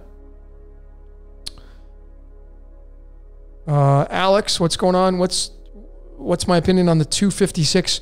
The 256 is tied to the 100. 256 is tied to the computer and the 256 bit. And the 256 is tied to the element fermium, the 100. And it could be possible that the 100 first populated the earth and then the 200 came down after them. And then you get the three, the 33%. Then you get the story of the th- a third of the angels came down. That'd be 300 out of a 1,000. But the 256 is most definitely tied into fermium and the 100. The 210, that's going to be tied into the element ro- uh, radium. I'm sorry, radon, excuse me. Radon, 210. And you're going to get polonium in there as well. And astatine. So it's going to be a blend. I'm just thinking out loud. Nothing wrong with cheese. If you're a vegan, it's got to be vegan cheese. But again, I will say, folks, I just hope you have come to your consciousness where you're not pointing the finger at somebody who's not a vegan. And you don't even, even if you're at the consciousness, and I'm talking about the consciousness as where it's not that you're, you refrain from saying anything. What's going on in the little noggin ears? What are you thinking? A lot of you don't say what you really think. That's not being authentic, is it? Well, when you're really at a high state of consciousness, the thoughts will be in line with the instrument of the body. It's like you have no problem saying it to somebody.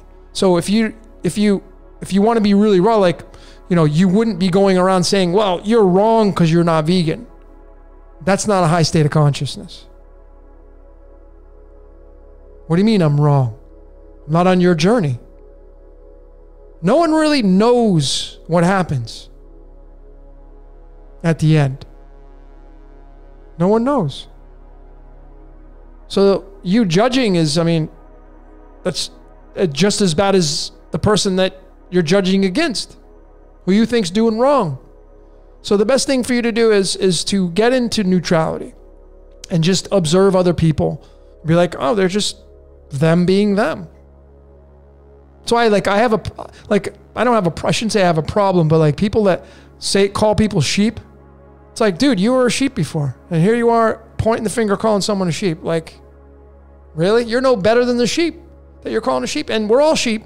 You got a shepherd. If you want to really be duck for duck here. But if you're a vegan, please don't go around saying, well, you shouldn't eat meat. Just you you can go push push veganism. Just be the best vegan vegan you can be. Be a good candidate. Be, be a good example. But if you're if you're one of those that point the finger and saying, "Well, you shouldn't be doing that," well, you've already lost the game. That's not the way the game works. Life is works in a gradient measure. And a gradient means, you know, from white to black or black to white. Leveling up to win the game, stages, levels. And what your level is at may be different from somebody else on how to win this journey for them. Because if we're just all playing out our fractals and we're, people say, oh, I'm an old soul. Well, if you're an old soul and you're looking down at somebody who's not an old soul and you're, and you're blaming them, you're not an old soul. Because if you're an old soul and you're wise, you would realize the way this game works is not doing the blame game. It's not doing the blame game. It's, and it's certainly not judging people for their journey. Because it's all fractals, folks.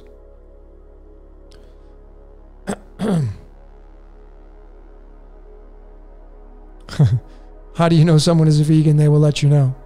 Yeah. I mean, some of my closest friends are are vegans. I I just I don't know the whole the whole concept is is got a lot of negative to it because if someone's not they they they they push magic on it like oh they're vegan and stuff. We gotta just stop with this. Just like who cares? Who cares what you eat? That's you. I don't wake up and have to. I'm not sitting there doing the airplane with the spoon. Open your mouth. Here it comes. I'm not doing that to you. That's silly. You can do whatever you got to do. I'm going to go out there and I'm going to set the example and be the best little devil that I can be. That's my job. And it will make a ripple. And it's making a ripple. But I'm not keeping tabs on the ripple. I'm not measuring the ripple. Don't care.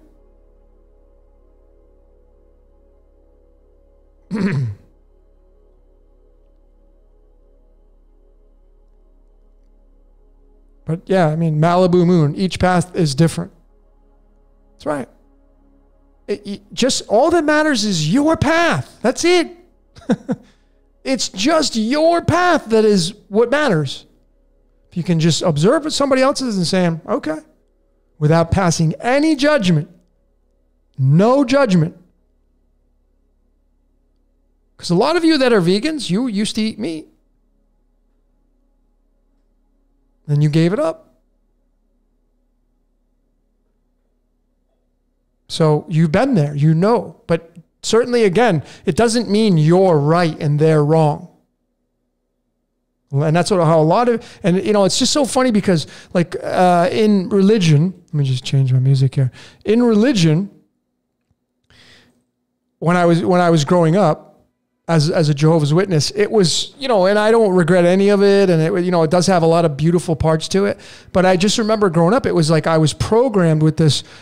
My life is the right way, and your and anybody else outside of my life that's not doing what I'm doing, they're wrong.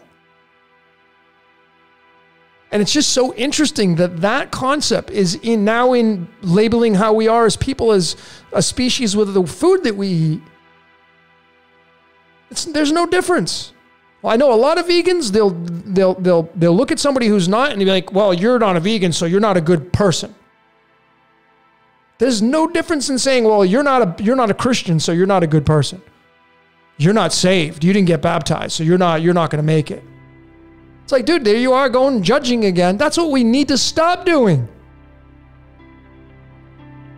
God, it's crazy, man. This world that we live in, people think they're just so on top of the world and I don't do anything wrong and I'm so spiritual. Oh, I'm so spiritual. Yet they're sitting there judging other people. Man, it's crazy, this world.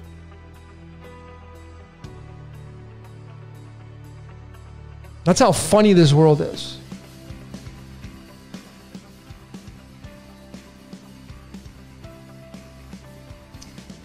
Connor Powers, as a decoder, why do you not talk about numerology very often? Well, have you watched any of my th- almost 300 videos? I, I, talk about numerology all the time. I've done uh, the life paths, uh, soul urge, the heart's desire. These are all going to be part of my course. But I've done the life paths. I've done them in many podcasts. You just haven't been here when I've done them. But if you guys want me to talk about life paths, let me know. Uh, let's let's see what we get for comments.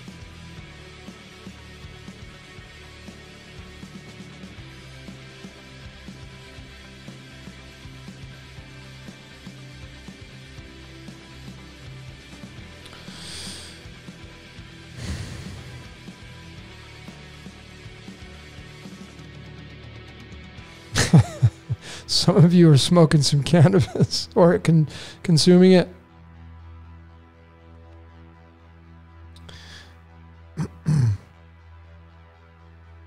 uh, all right, so we got some life paths. So I'll talk about the life paths in a second here. Uh, let's just finish with the nutrition part. Crypto Lalo. What are my thoughts on the raw primal diet?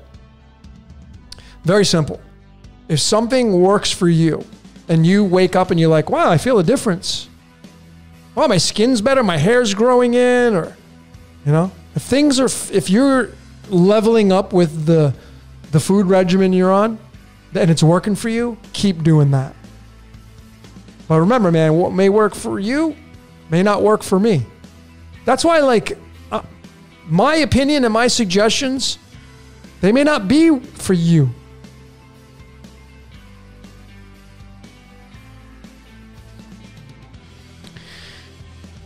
Um, did I ever have Jason Q on my show? Uh, I have not. Um, the only and I don't, I don't, I don't know him, but he, I know he focuses on the mainstream, or he has. Is, does he not focus on the mainstream? I'm not really into that. Like breaking down the mainstream, I'm just, I don't want to feed it that much. I feed it enough doing some of the decodes.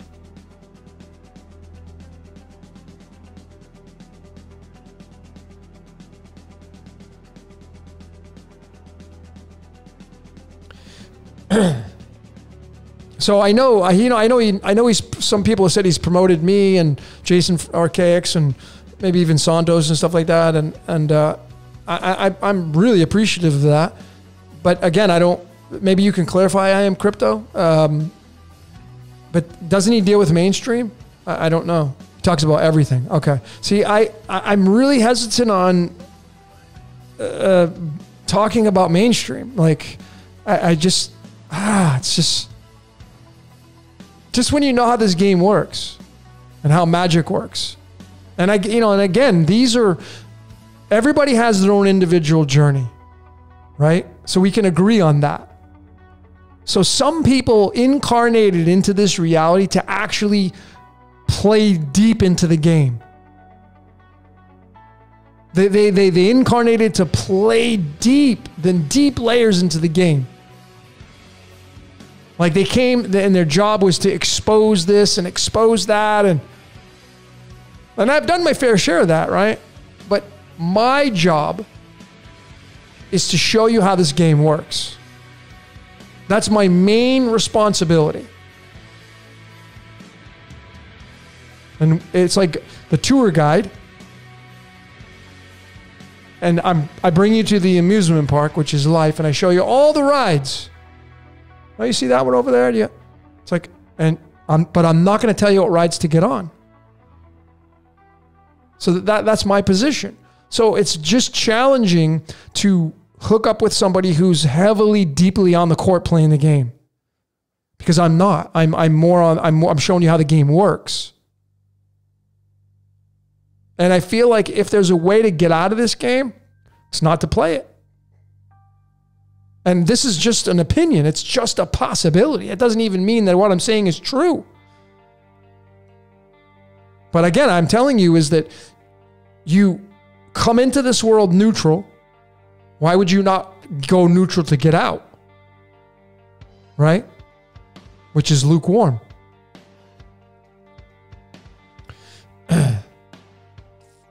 okay.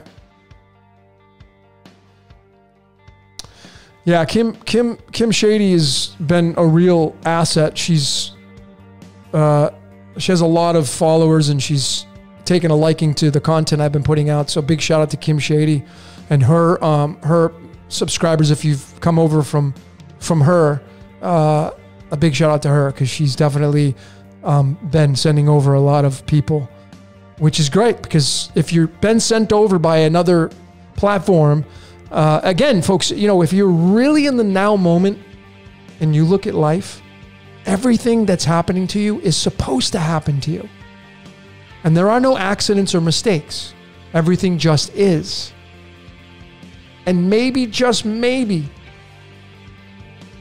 you're here right now because you're supposed to be here. It's as simple as that. All right, let me get into some. Let me let me get into the life paths. Someone had asked, who was it? Um, damn, so many comments. Thanks for everybody for joining here. I can't remember who it was. Someone was asking me about life paths and numerology. So let's. I've done it many times, but let's let's go through it again. So we had a lot of new names here. okay. So those of you that have Now, I want to be very specific as well in numerology because you probably have never heard this before if you're a numerologist. Most numerologists don't teach the same things that I teach as a numerologist. I look at everything. And every single one of you will have multiple life path numbers. What I mean by that is that if you take your birthday, let me just show all of you this, just so you could see. So if you go to Derek's website, just to use it, and you type in your birthday. So, for example, I'll use mine. Here's my birthday. You just type these numbers in February 4th, 1973. What you're going to get is two numbers, actually, three numbers. You're going to get the two, the six, and the eight. The 26 is my compound life path number. It's going to be a combination of the two and the six. And these numbers add up to become the number eight. So, in numerology, the basic fundamentals of numerology, I'm going to be considered an eight life path. My birth card is the eight. I mean, this is my script. But it's the 26 that I really serve. And it's a combination, and you can break it down even more. You can go with two is Taurus, six is Virgo. And you can look at those concepts. But it's the 26. And then it's going to service the number eight. So there are many ways to look at this, not just from a single digit perspective. Let me give you another one. Just I'll take any any birthday. January 14th, 1965. That's going to be a 27 slash 9.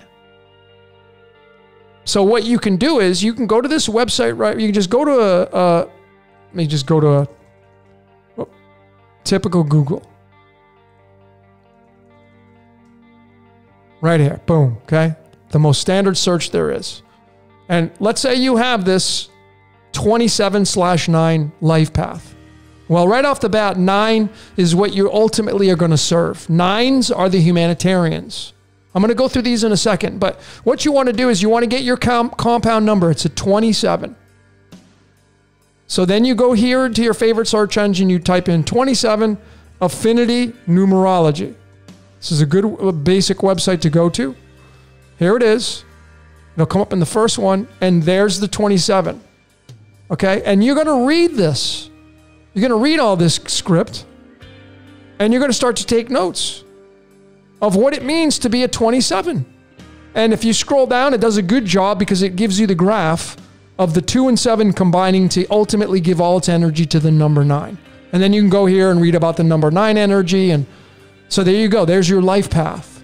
That's how you do it. Let me give you one more example.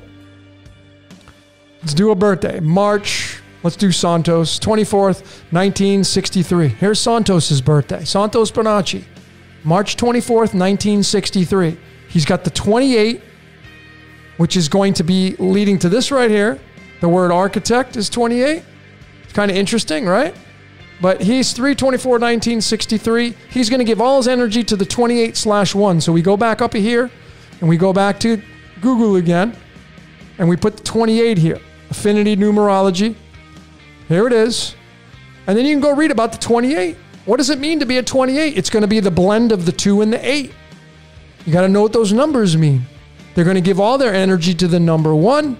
There it is. And you can just click on the number 1 and now you have the meaning of the number 1. Okay, it's really simple. That's how you do that with with the life path.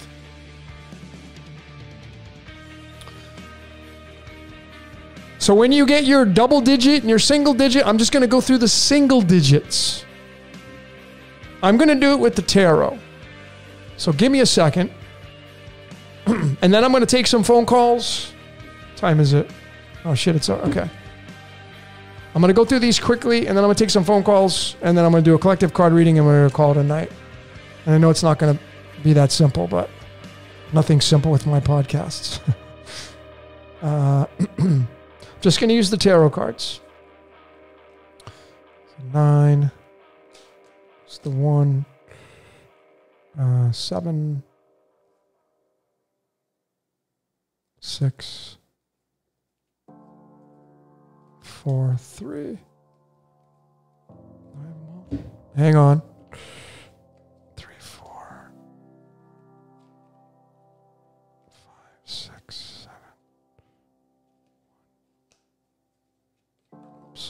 So I'm missing eight. Hey, I'm almost there, ladies and gentlemen. This would be good. You should be doing this for the people you know, your partner. If you're if you're married, you should know what your life. You should know what your partner's life path is. Should be standard. You should know what their life path is. It's the way they're going to show up. When you know your partner's code, you you'll be less and less judging their code, judge, judging them as a person, because you'll realize that it's just them being them.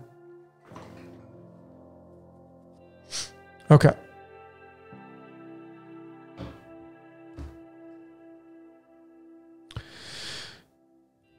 All right. So let me uh, let me just answer this question. Just one guy. Where can you score some cannabis in Puerto Morelos? No idea. Couldn't tell you. just ask a local. Ask a local. It's, it's, you can get it anywhere here. You probably want to go down to Playa del Carmen and get it anywhere on the street. Okay. All right. So here we go, folks. The life path numbers according to the tarot. Okay. Here we go. So we have life path number one. Those of you that have a life path number one, Santos Bonacci, for example, ultimately he has a life path number one. It's the magician card, the first card in the tarot. This magician right here is the leader in life. The, the magician spinning, slashing the magic. Uh, I mean, um, pushing magic. I mean, we all do it, right? You're all, essentially you're all going to have this in your code, but your soul contract is to be a leader and to get everybody to behind you. Like I'm going to lead the way. The challenge for you, One Life Paths, is to get rid of trying to be so competitive. Get rid of thinking that you're right and everybody's wrong. That's the challenge you're going to have because it's the first number, numero uno. So you're going to think your way is the only way. And many of you will think that no matter what, even if you're not a one life path. But when you're a soul contract life path, your job is you're the seed planter the trailblazer, the fire starter. If you were in a mastermind group, you would be the one be like, hey, hey, Logan, what do you got for ideas? And you start to throw your magic out there. Life path number one. Life path number two. Those of you that have a life path ultimately down to the number two. It's going to, you're going to be that dependable, loyal person. You're going to be that person who is working good with people too. You're designed to work with perhaps money, finances, dependable, Taurus energy. The one is Aries energy. Those of you that are life paths number one, you're going to be Aries energy. The leaders, the ram. So you can bring astrology into this. Two life paths, Taurus, the bull, the bull horns. Dependable, loyal. People rely on you. Right? Structure and then you're the high priestess. So you're gonna you're gonna uh, you're gonna have the oracle behind you. The two life path. Okay, you're dealing with just you and something else, creating relationships. The two life path. Number three, those of you that have three life paths, you get into the Gemini energy and the two twins, Castor and Pollux. And now you get into the Empress. What is the Empress's job? To create things what is the third house of astrology? The house of creativity, the house of communication. It's the Trinity, the triangle, dealing with the mother. And the mother gives birth to the two twins, Castor and Pollux. House number three, life path number three. Life path number threes are likely going to uh, gravitate towards the creative arts. They're going to gravitate towards maybe being an artist, maybe being a musician, a baker, an artist, a sculptor. Three, Maybe somebody who's very influential on the world stage with the way they communicate their magic spells. And if you have a, a three life path, if you have a two life path, you want to look at your second house. If you have a two life path, what's in your second house? Are there planets there influencing that? It's going to influence your life path. If you have planets in your third house and you're a three life path, what are you giving birth to? It's going to influence you even more. And then with the first house as well. Those of you that are life paths number four, you're going to be dealing with the house of the Cancer energy and the moon, and do you want to know where your moon placement is? Those of you that have life paths number four, you got to check out where your moon is in your astrology chart. That's going to affect your life path. But it, it's dealing with the emperor, the king on the chessboard. Three is the queen, the queen and the king. This is representing the box, the cube, the square. Those of you that have four life paths, you're here to build something, a structure, stability mental or physical. Square lines, architect, architecture, the builder, the four.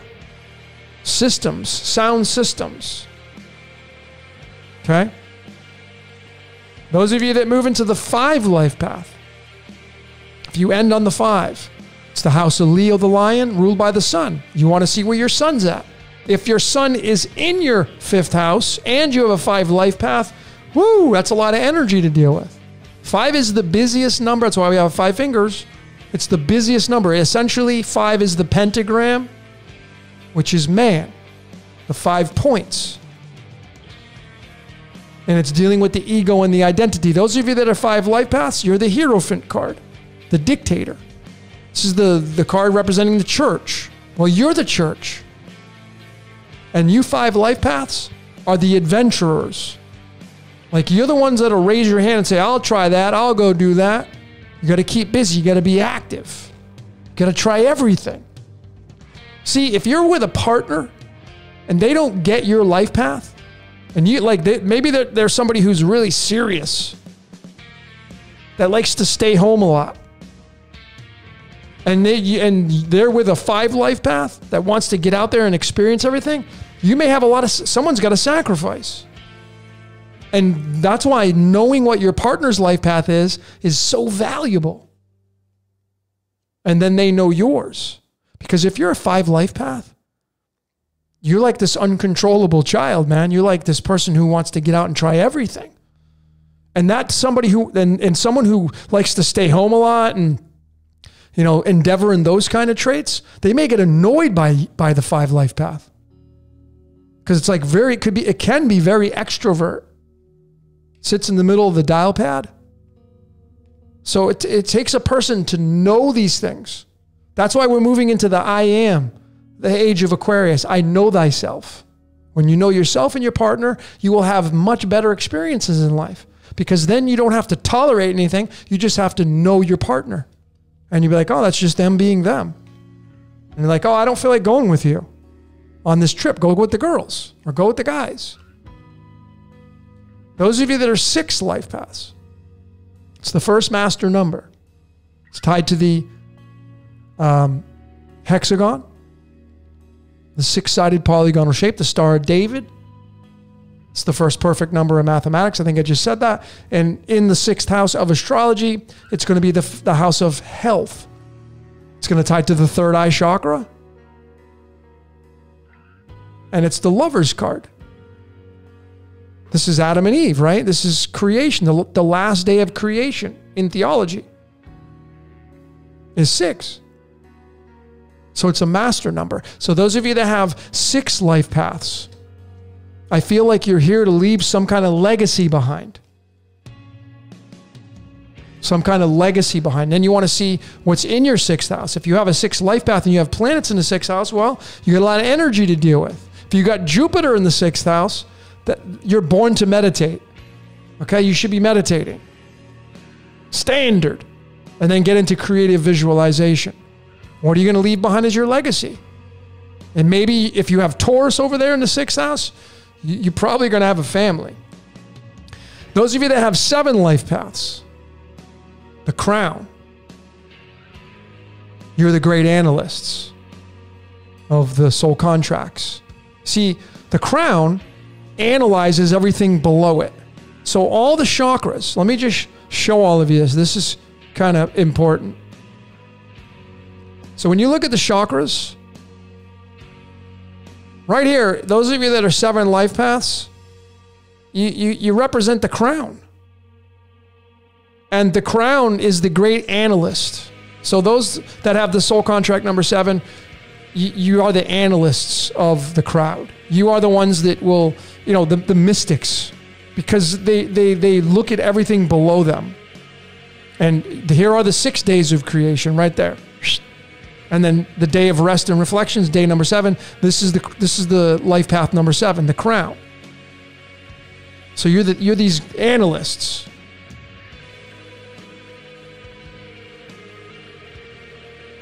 And it's this card right here, the chariot, because and it deals in duality. You're analyzing duality, and the chariot is the fast moving energy. So you have these all these thoughts, and you got to control that monkey mind. Those of you that have seven life paths, you're interested in the mystical arts, you're interested in mysticism, the occult, primarily, probably. You're probably really good at um, going to a restaurant and being a, a food taster or a wine taster. You could pick out song. You can pick out songs on an album on a new album that comes out before it ever comes out. You're really good at that stuff. Like you know what's going to be singles on an album, maybe. You know, you make a good movie critic because you're the analysts. You analyze everything from the top down. Those of you that are life path number eight, like myself, you essentially are the torus field. You are the hourglass. You're here to deal with power, which is why it's the strength card. Taming the lion. There's the infinity symbol right over the head. But those of you that have the eight life path like me, you're here, you're here to deal with power. It can go both ways. You can use the power for service to self, and you can amass a fortune if you want to.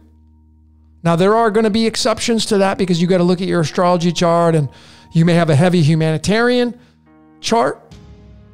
If you have a lot of planets in your ninth house and you have an eight life path, you may want to amass a lot of money and become a philanthropist. Or there are many layers to look at this. I know it well because I'm an eight life path. But you're seeing with what I'm doing with it. But the eight life path is the infinity symbol. It contains all the power, all the all the sands of time. And you have to learn how to deal with that. Dealing with authority and power. That's the eight life path. And then the ninth life path is going to be the humanitarians. And the humanitarians are the hermit. Those of you that are nine life paths, well, you're you're probably going to be somebody who deals in some kind of humanitarianism. And if you're not, you may want to scratch that itch. But it's, you know, and you may be uh, really, uh, you know, moving towards wisdom and knowledge. That's how you become smart. So essentially, the nine life paths are here to deal with their intelligence and to deliver it to the world. When you're using it for the constructiveness of the forward progression of our planet, you're doing it for the benefit of mankind. When you're using it for service to self, you could be you could use it to build a, a, company and be a CEO or something like that. Very intelligent people, the nine life paths. I have dealt with a lot of nine life paths, and the majority of them, if not all of them, are really here to service humanity, and they feel it in their bones. Okay. And then we get into the, you know, these other constructs, the 11, the those of you that have the master life path number 11 Okay, you're you're tied to the card justice card, card number eleven. Now you're you have two life paths to deal with. You, those of you that have these 11, 22, and 33, the 11 is going to reduce down to the oracle and the high priestess. So you're probably going to want to deal in the occult and all these, you know, the, the mystical art platforms being the oracle. But what you're going to do with that is you're going to you're going to be that great judge. So the 11s are are going to probably heavily be invested in the occult and the mystical arts and the quantum realm and all of that. Big shoes to fill, right? But essentially, you have two life paths. the 11 and the 2. And then you get into the 22. Those of you that are 22s, you're the master builders. That's what the 22 means. Um, let me just show you from the tarot. Now, it can be the Fool.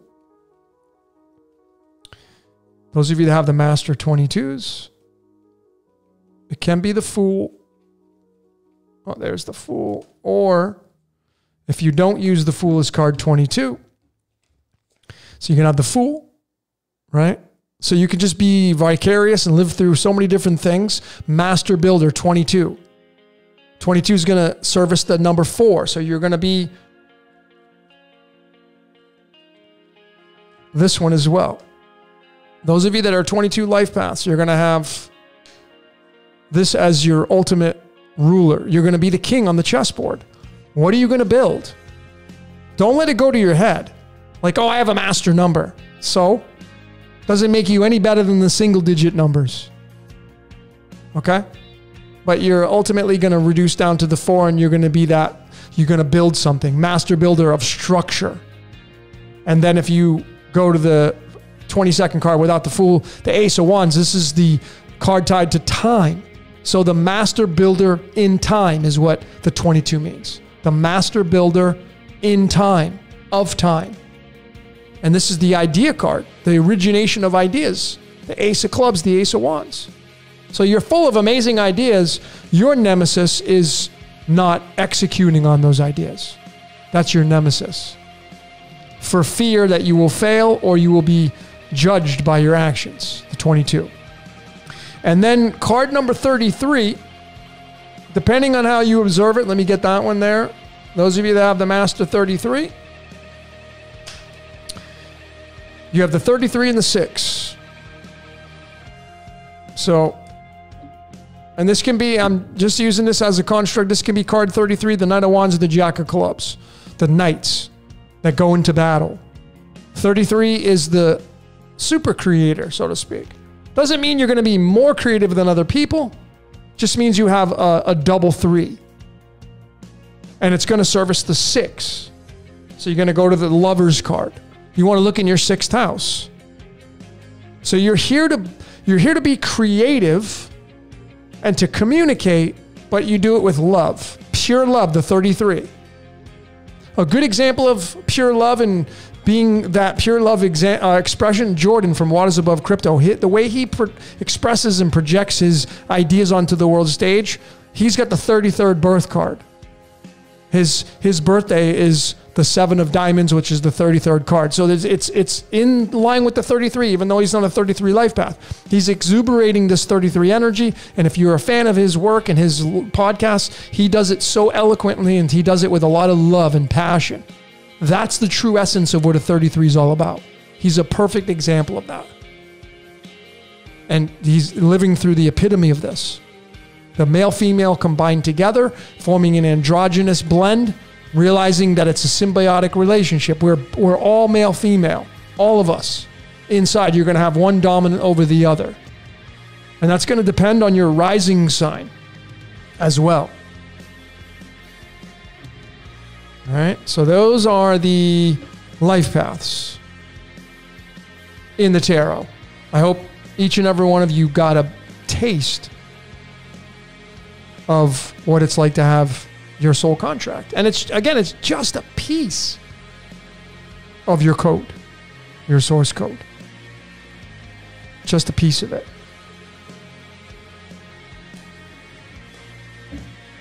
Okay. Let me shuffle these tarot cards.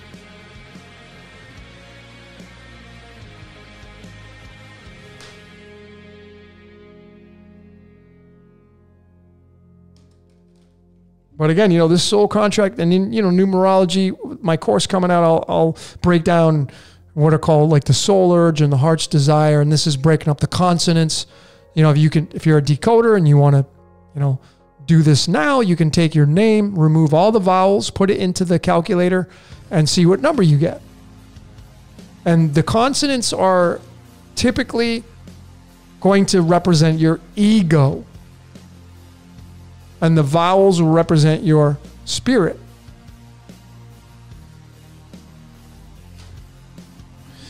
all right. But again, I just want to be very crystal clear with all of you. There is no number better than any other number. Every number has a job to do. Essentially, if you look at everything as an archetype, you'll have more keys to the kingdom because that's exactly how this reality works.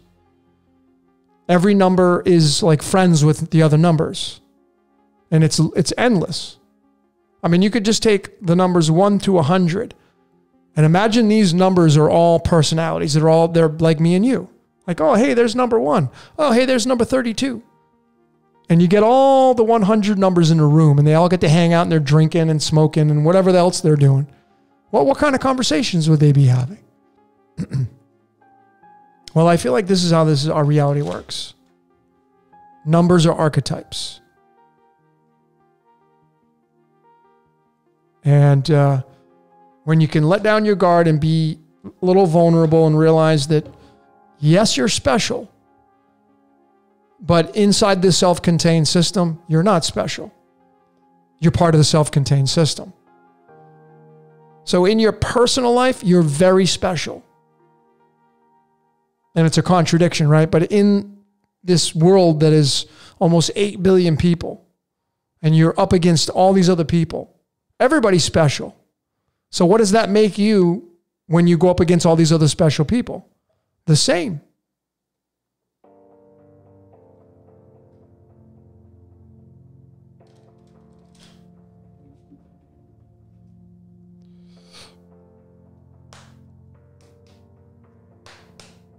Okay. Whew. All right. So let's um, get my phone here. Let's see.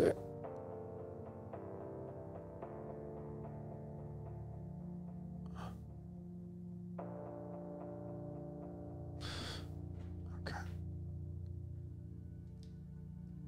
Hang on a sec, ladies and gentlemen.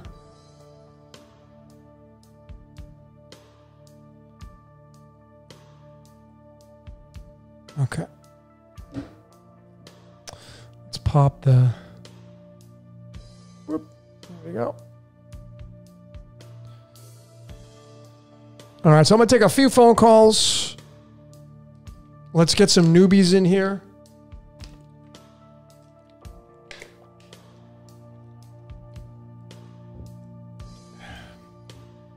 Those of you that want to try to call in, it's WhatsApp only, no phone calls. This is my WhatsApp number. I just popped it up on the screen.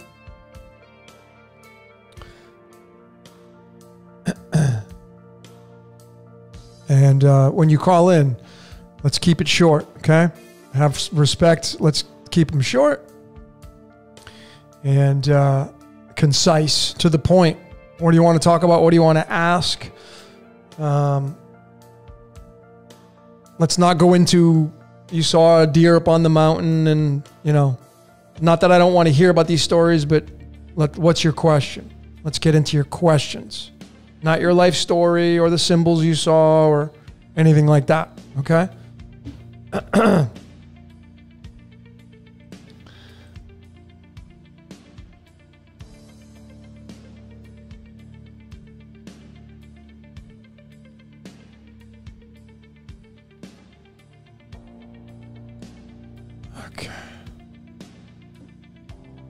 Before we have any callers come in, just kind of give you some announcements. If you haven't heard, uh, Jason Breshears from archaix.com has agreed to, excuse me, has agreed to um, do a podcast simulation theory part three uh, by popular demand. And uh, this time we're going to be um, going over some of your questions. I'm going to go through all the questions uh, in the comment section of part one and part two and try to pull these out and, you know, break them all down and get the very tip of the iceberg questions. But we're going to be really, we're going to be doing that.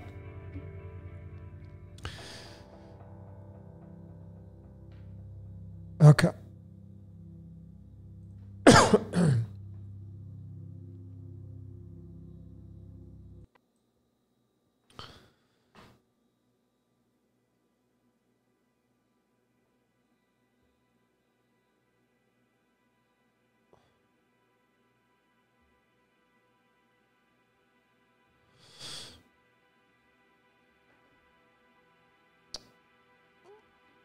Uh, Malibu Moon. I want to know more about the Great Pyramid being the North Node. Um, yeah, maybe. I just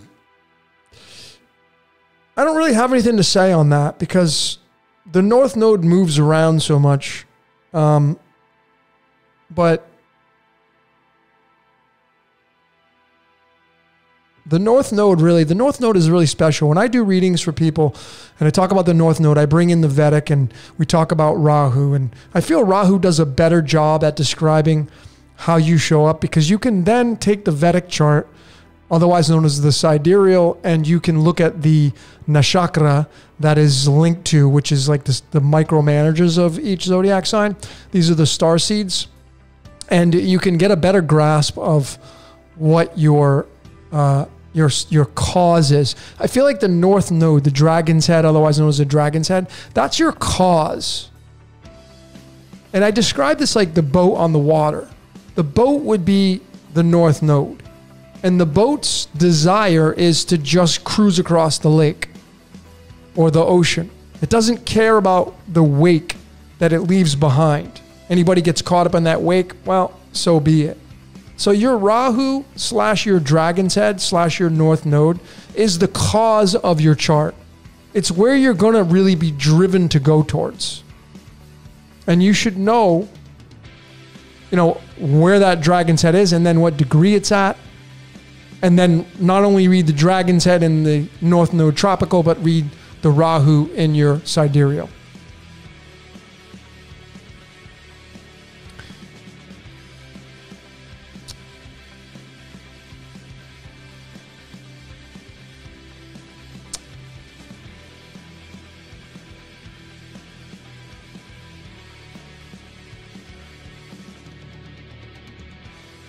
All right. So I'm pulling the plug on the phone. So no more callers because nobody called in. That's totally fine. Everybody missed their chance. Everybody's scaredy cats. Nobody wants to come on the phone. That's okay because it's getting late anyway. 1229. And I'm going to just do a collective card pull. So.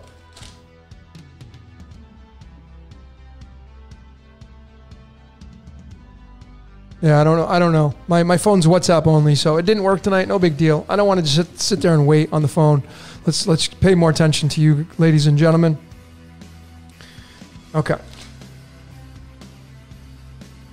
So, let's uh, let's jump into a collective card pull. I'm going to call tonight. I'm I'm hungry anyway. All I had was like a salad and some fruit this morning.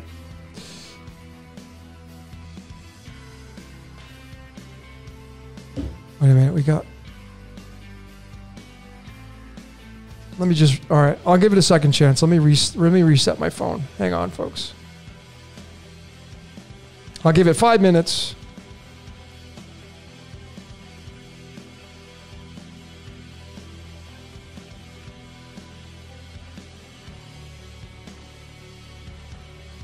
Hang on, I'm trying to.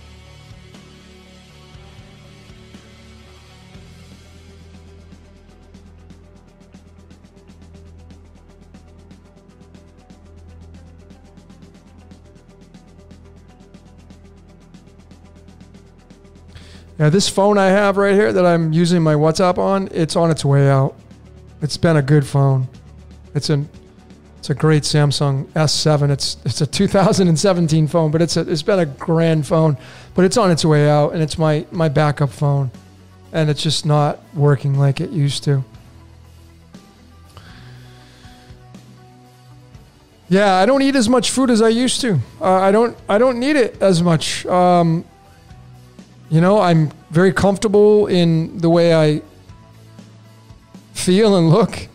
Um, and I just eat when I feel like I'm supposed to eat. So, yeah, I just don't think my phone is. Uh... All right. So let's just move towards the collective card pull because I want to kind of end this short. I'm, I'm hungry and it's been a fun ride tonight for all of you.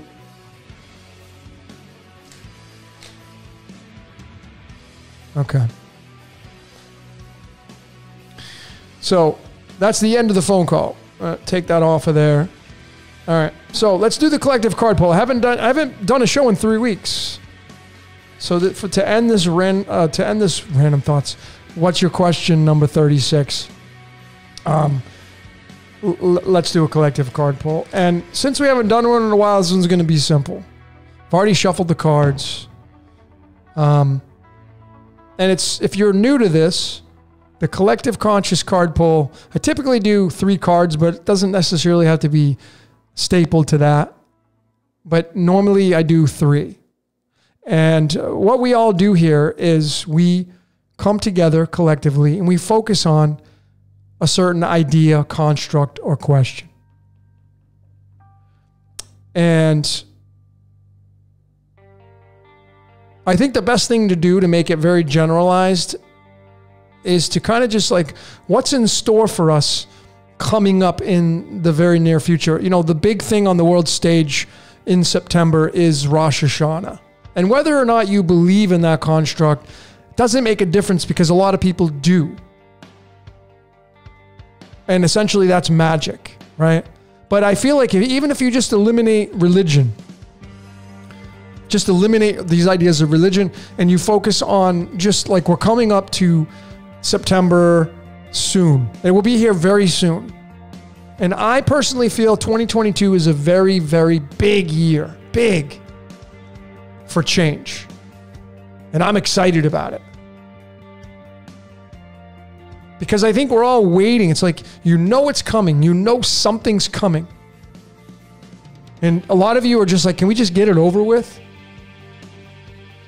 And I think the reason why we get into these mindsets is because you see, we're, we're focused on them.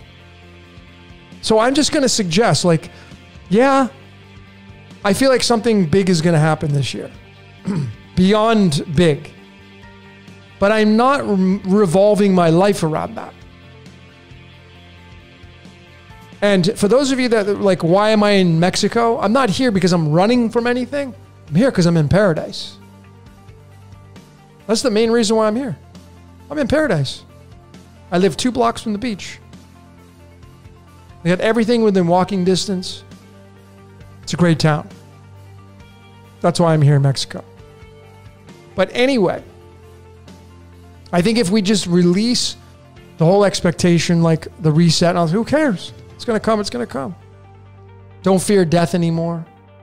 If it's part of your code to pass on, then it's part of your code. Okay, so next, what's the next part of my game?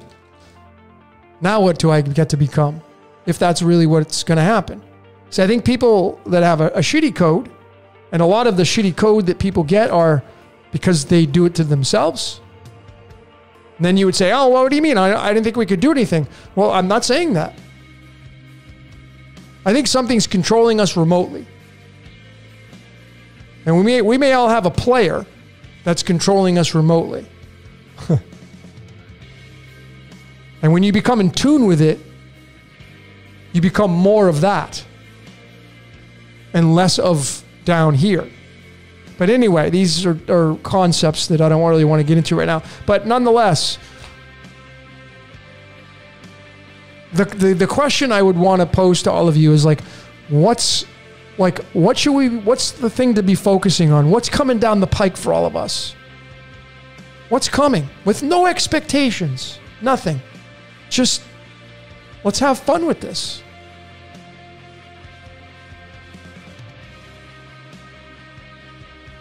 All right, let's just have fun with this. So I'm going to crank up the music like that for 30 seconds. I'm going to shuffle the cards as I'm going through the 30 seconds. And I just want you to think about personally for you. And then for the world, like, where are we going? And then the cards are going to speak. Now, I don't know if the cards are going to speak based upon our collectively coming together, but you get the point. So the question is, the concept is, the idea is, we're now in the month of June. We got July, August, September. We have this the fall coming up, the harvest time. 2022, I think it's a big year. What's happening? What's coming? Exciting times. All right? So let's 30 seconds, crank up the music, think about these ideas and these constructs, and then we're going to pull some cards. I'm going to shuffle while we're doing that.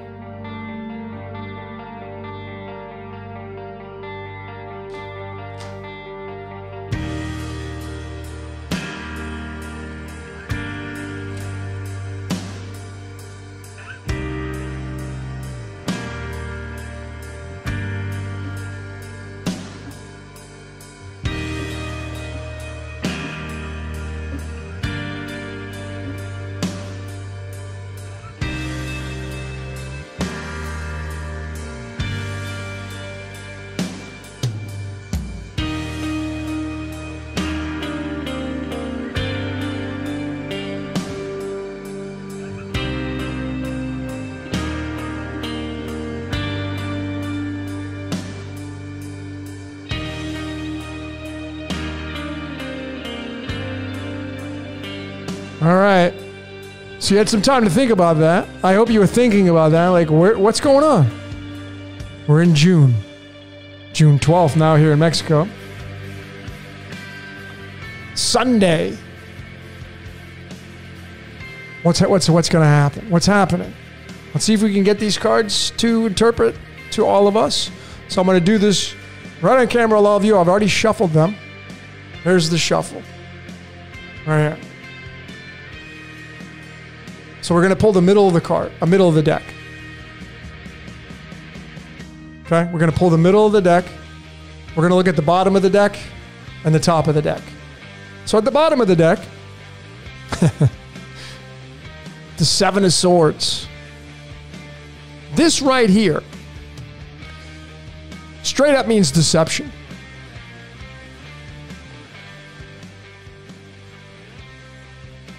Doing things to serve your own needs. Essentially, this is tied to the number 46, which is the game of life. 46 is tied to the tree of life. 46 is tied to Matt Groening's birthday. Matt Groening born on the 46th day of the year. The Simpsons. What color do you see as the major color for this card? What color are the Simpsons characters? See, it's all connected. But anyway, there's the first uh, piece of this. Let's now go to the middle of the deck. I'm going to keep them nice and tight. And we're just going to pull right from the as dead center as I can possibly get it. All right. So keep this tight. Let's just get the, we're going to go to the dead center. There's the dead center. I'm going to pull a card up. And what do we have? We have the Ten of Wands.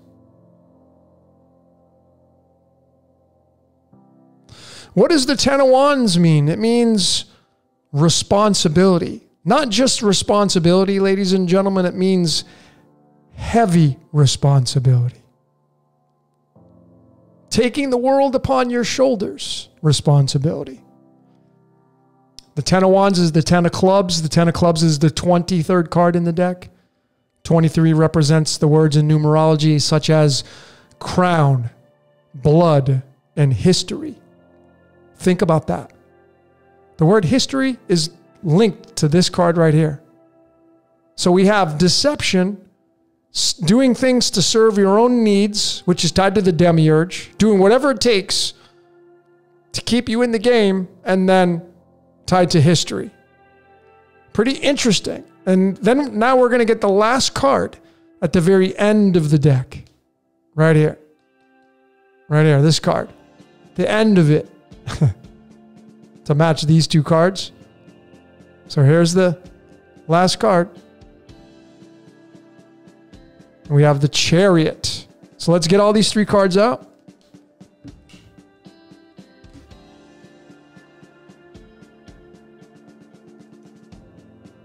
So what's coming down the pike? Like what's going to happen to humanity? What are we looking at?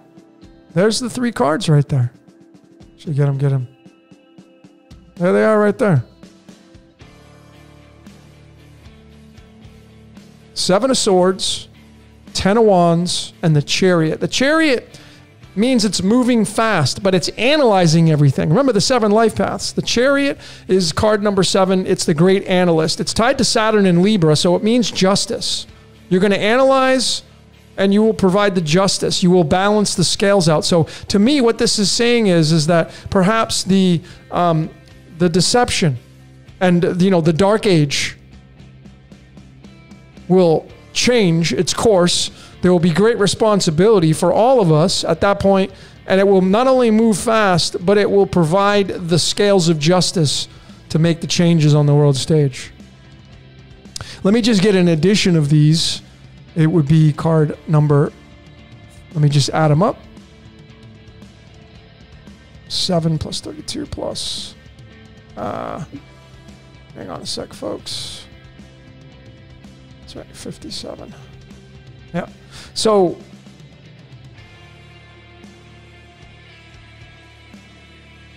when you add these three cards up, I don't know if you can see my calculator. There's the three cards added up. Look what look what number it gives you. 96. That's the yin yang. See the 57 at the end? The 57 is going to be this card right here. It's tied to the simulation. So we, we now can say that I can confidently tell you this is the simulation, and the simulation does whatever it takes to keep the game running.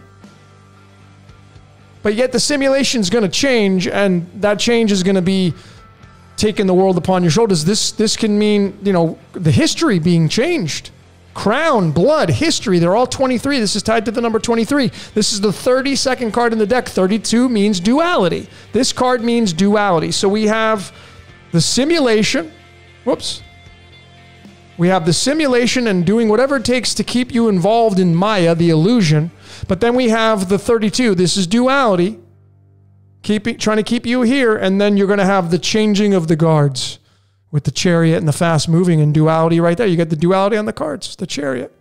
And they all add up to the number 96. You see that?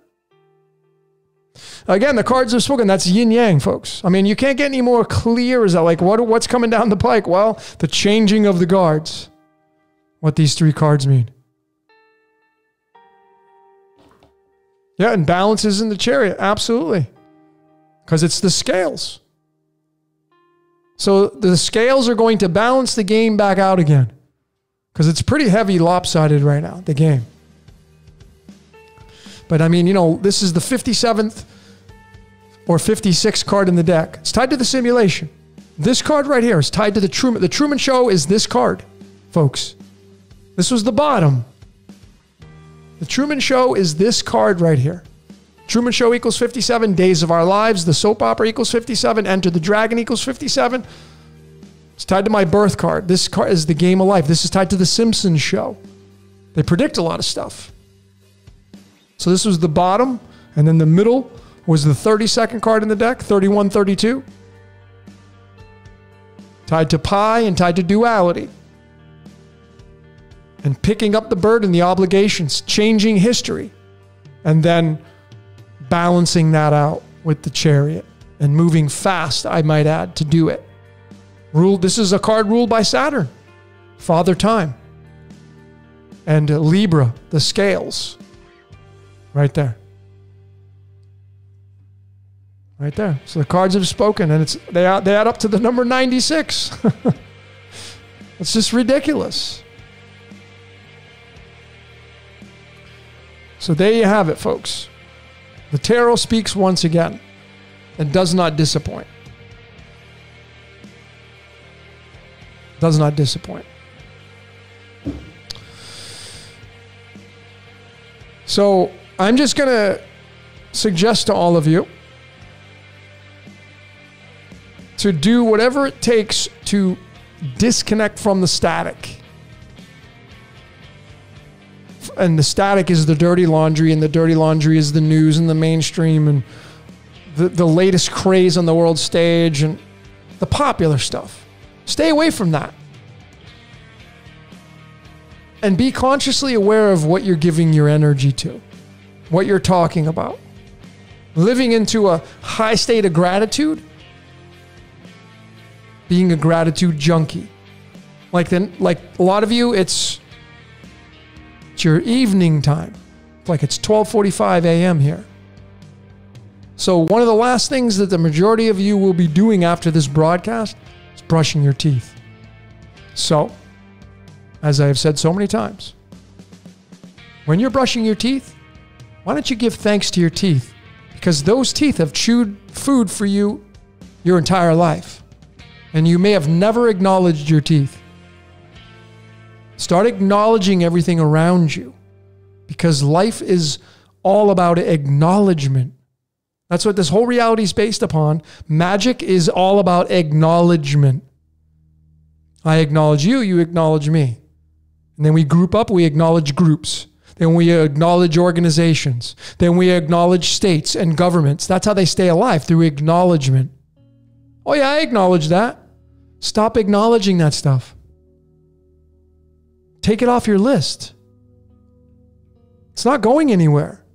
But the more and more people do this concept, it will cease to exist because it's not acknowledged anymore. We're in for big change, folks, whether that's going to be uh, a more dystopian world, which most definitely could be. You just you got to roll with it and you got to realize that nothing's permanent. So if we end up going into a down cycle, worse off than it is, that's just the cycle we're going through. We can't be bitter about it and angry about it when you're in the now moment and you're acknowledging this reality for what it is, everything's inside this self contained system, you know that if we're in a down cycle, it's what's next, but an up cycle. Personally, there's also this aspect of this. If you go through the biblical stuff, there's this this false cry of peace and security. And imagine that justice comes to the world. Imagine you wake up tomorrow on Monday, and in the you you you get a phone call from your friends because you're not paying attention to the static. Somebody texts you something, and they're like, "Did you hear? Such and such got arrested, and they're being tried for treason and war crimes and all this stuff." There's going to be a lot of people that will literally be cheering this on.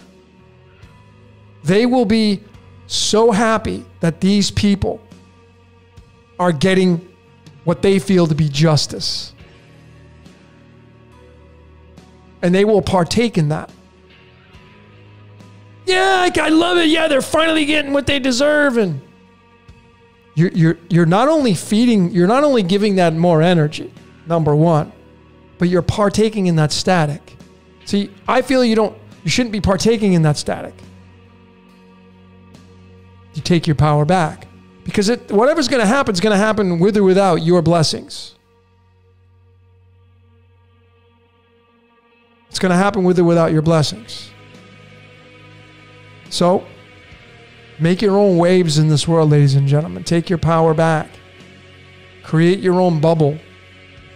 Create your own life based upon your concepts, not what the popular vote is basing it upon. Don't don't plant a tree or a garden because you're afraid that there's going to be food shortages. Don't go build a house because you're afraid there's going to be a wood shortage. Don't go rush off somewhere because you're afraid that a bomb's going to get dropped or you know something like that. I mean, yeah, if you feel, if you feel like if you live near a volcano and you feel like the volcano is going to erupt, that's different. But don't stake your game based upon their game.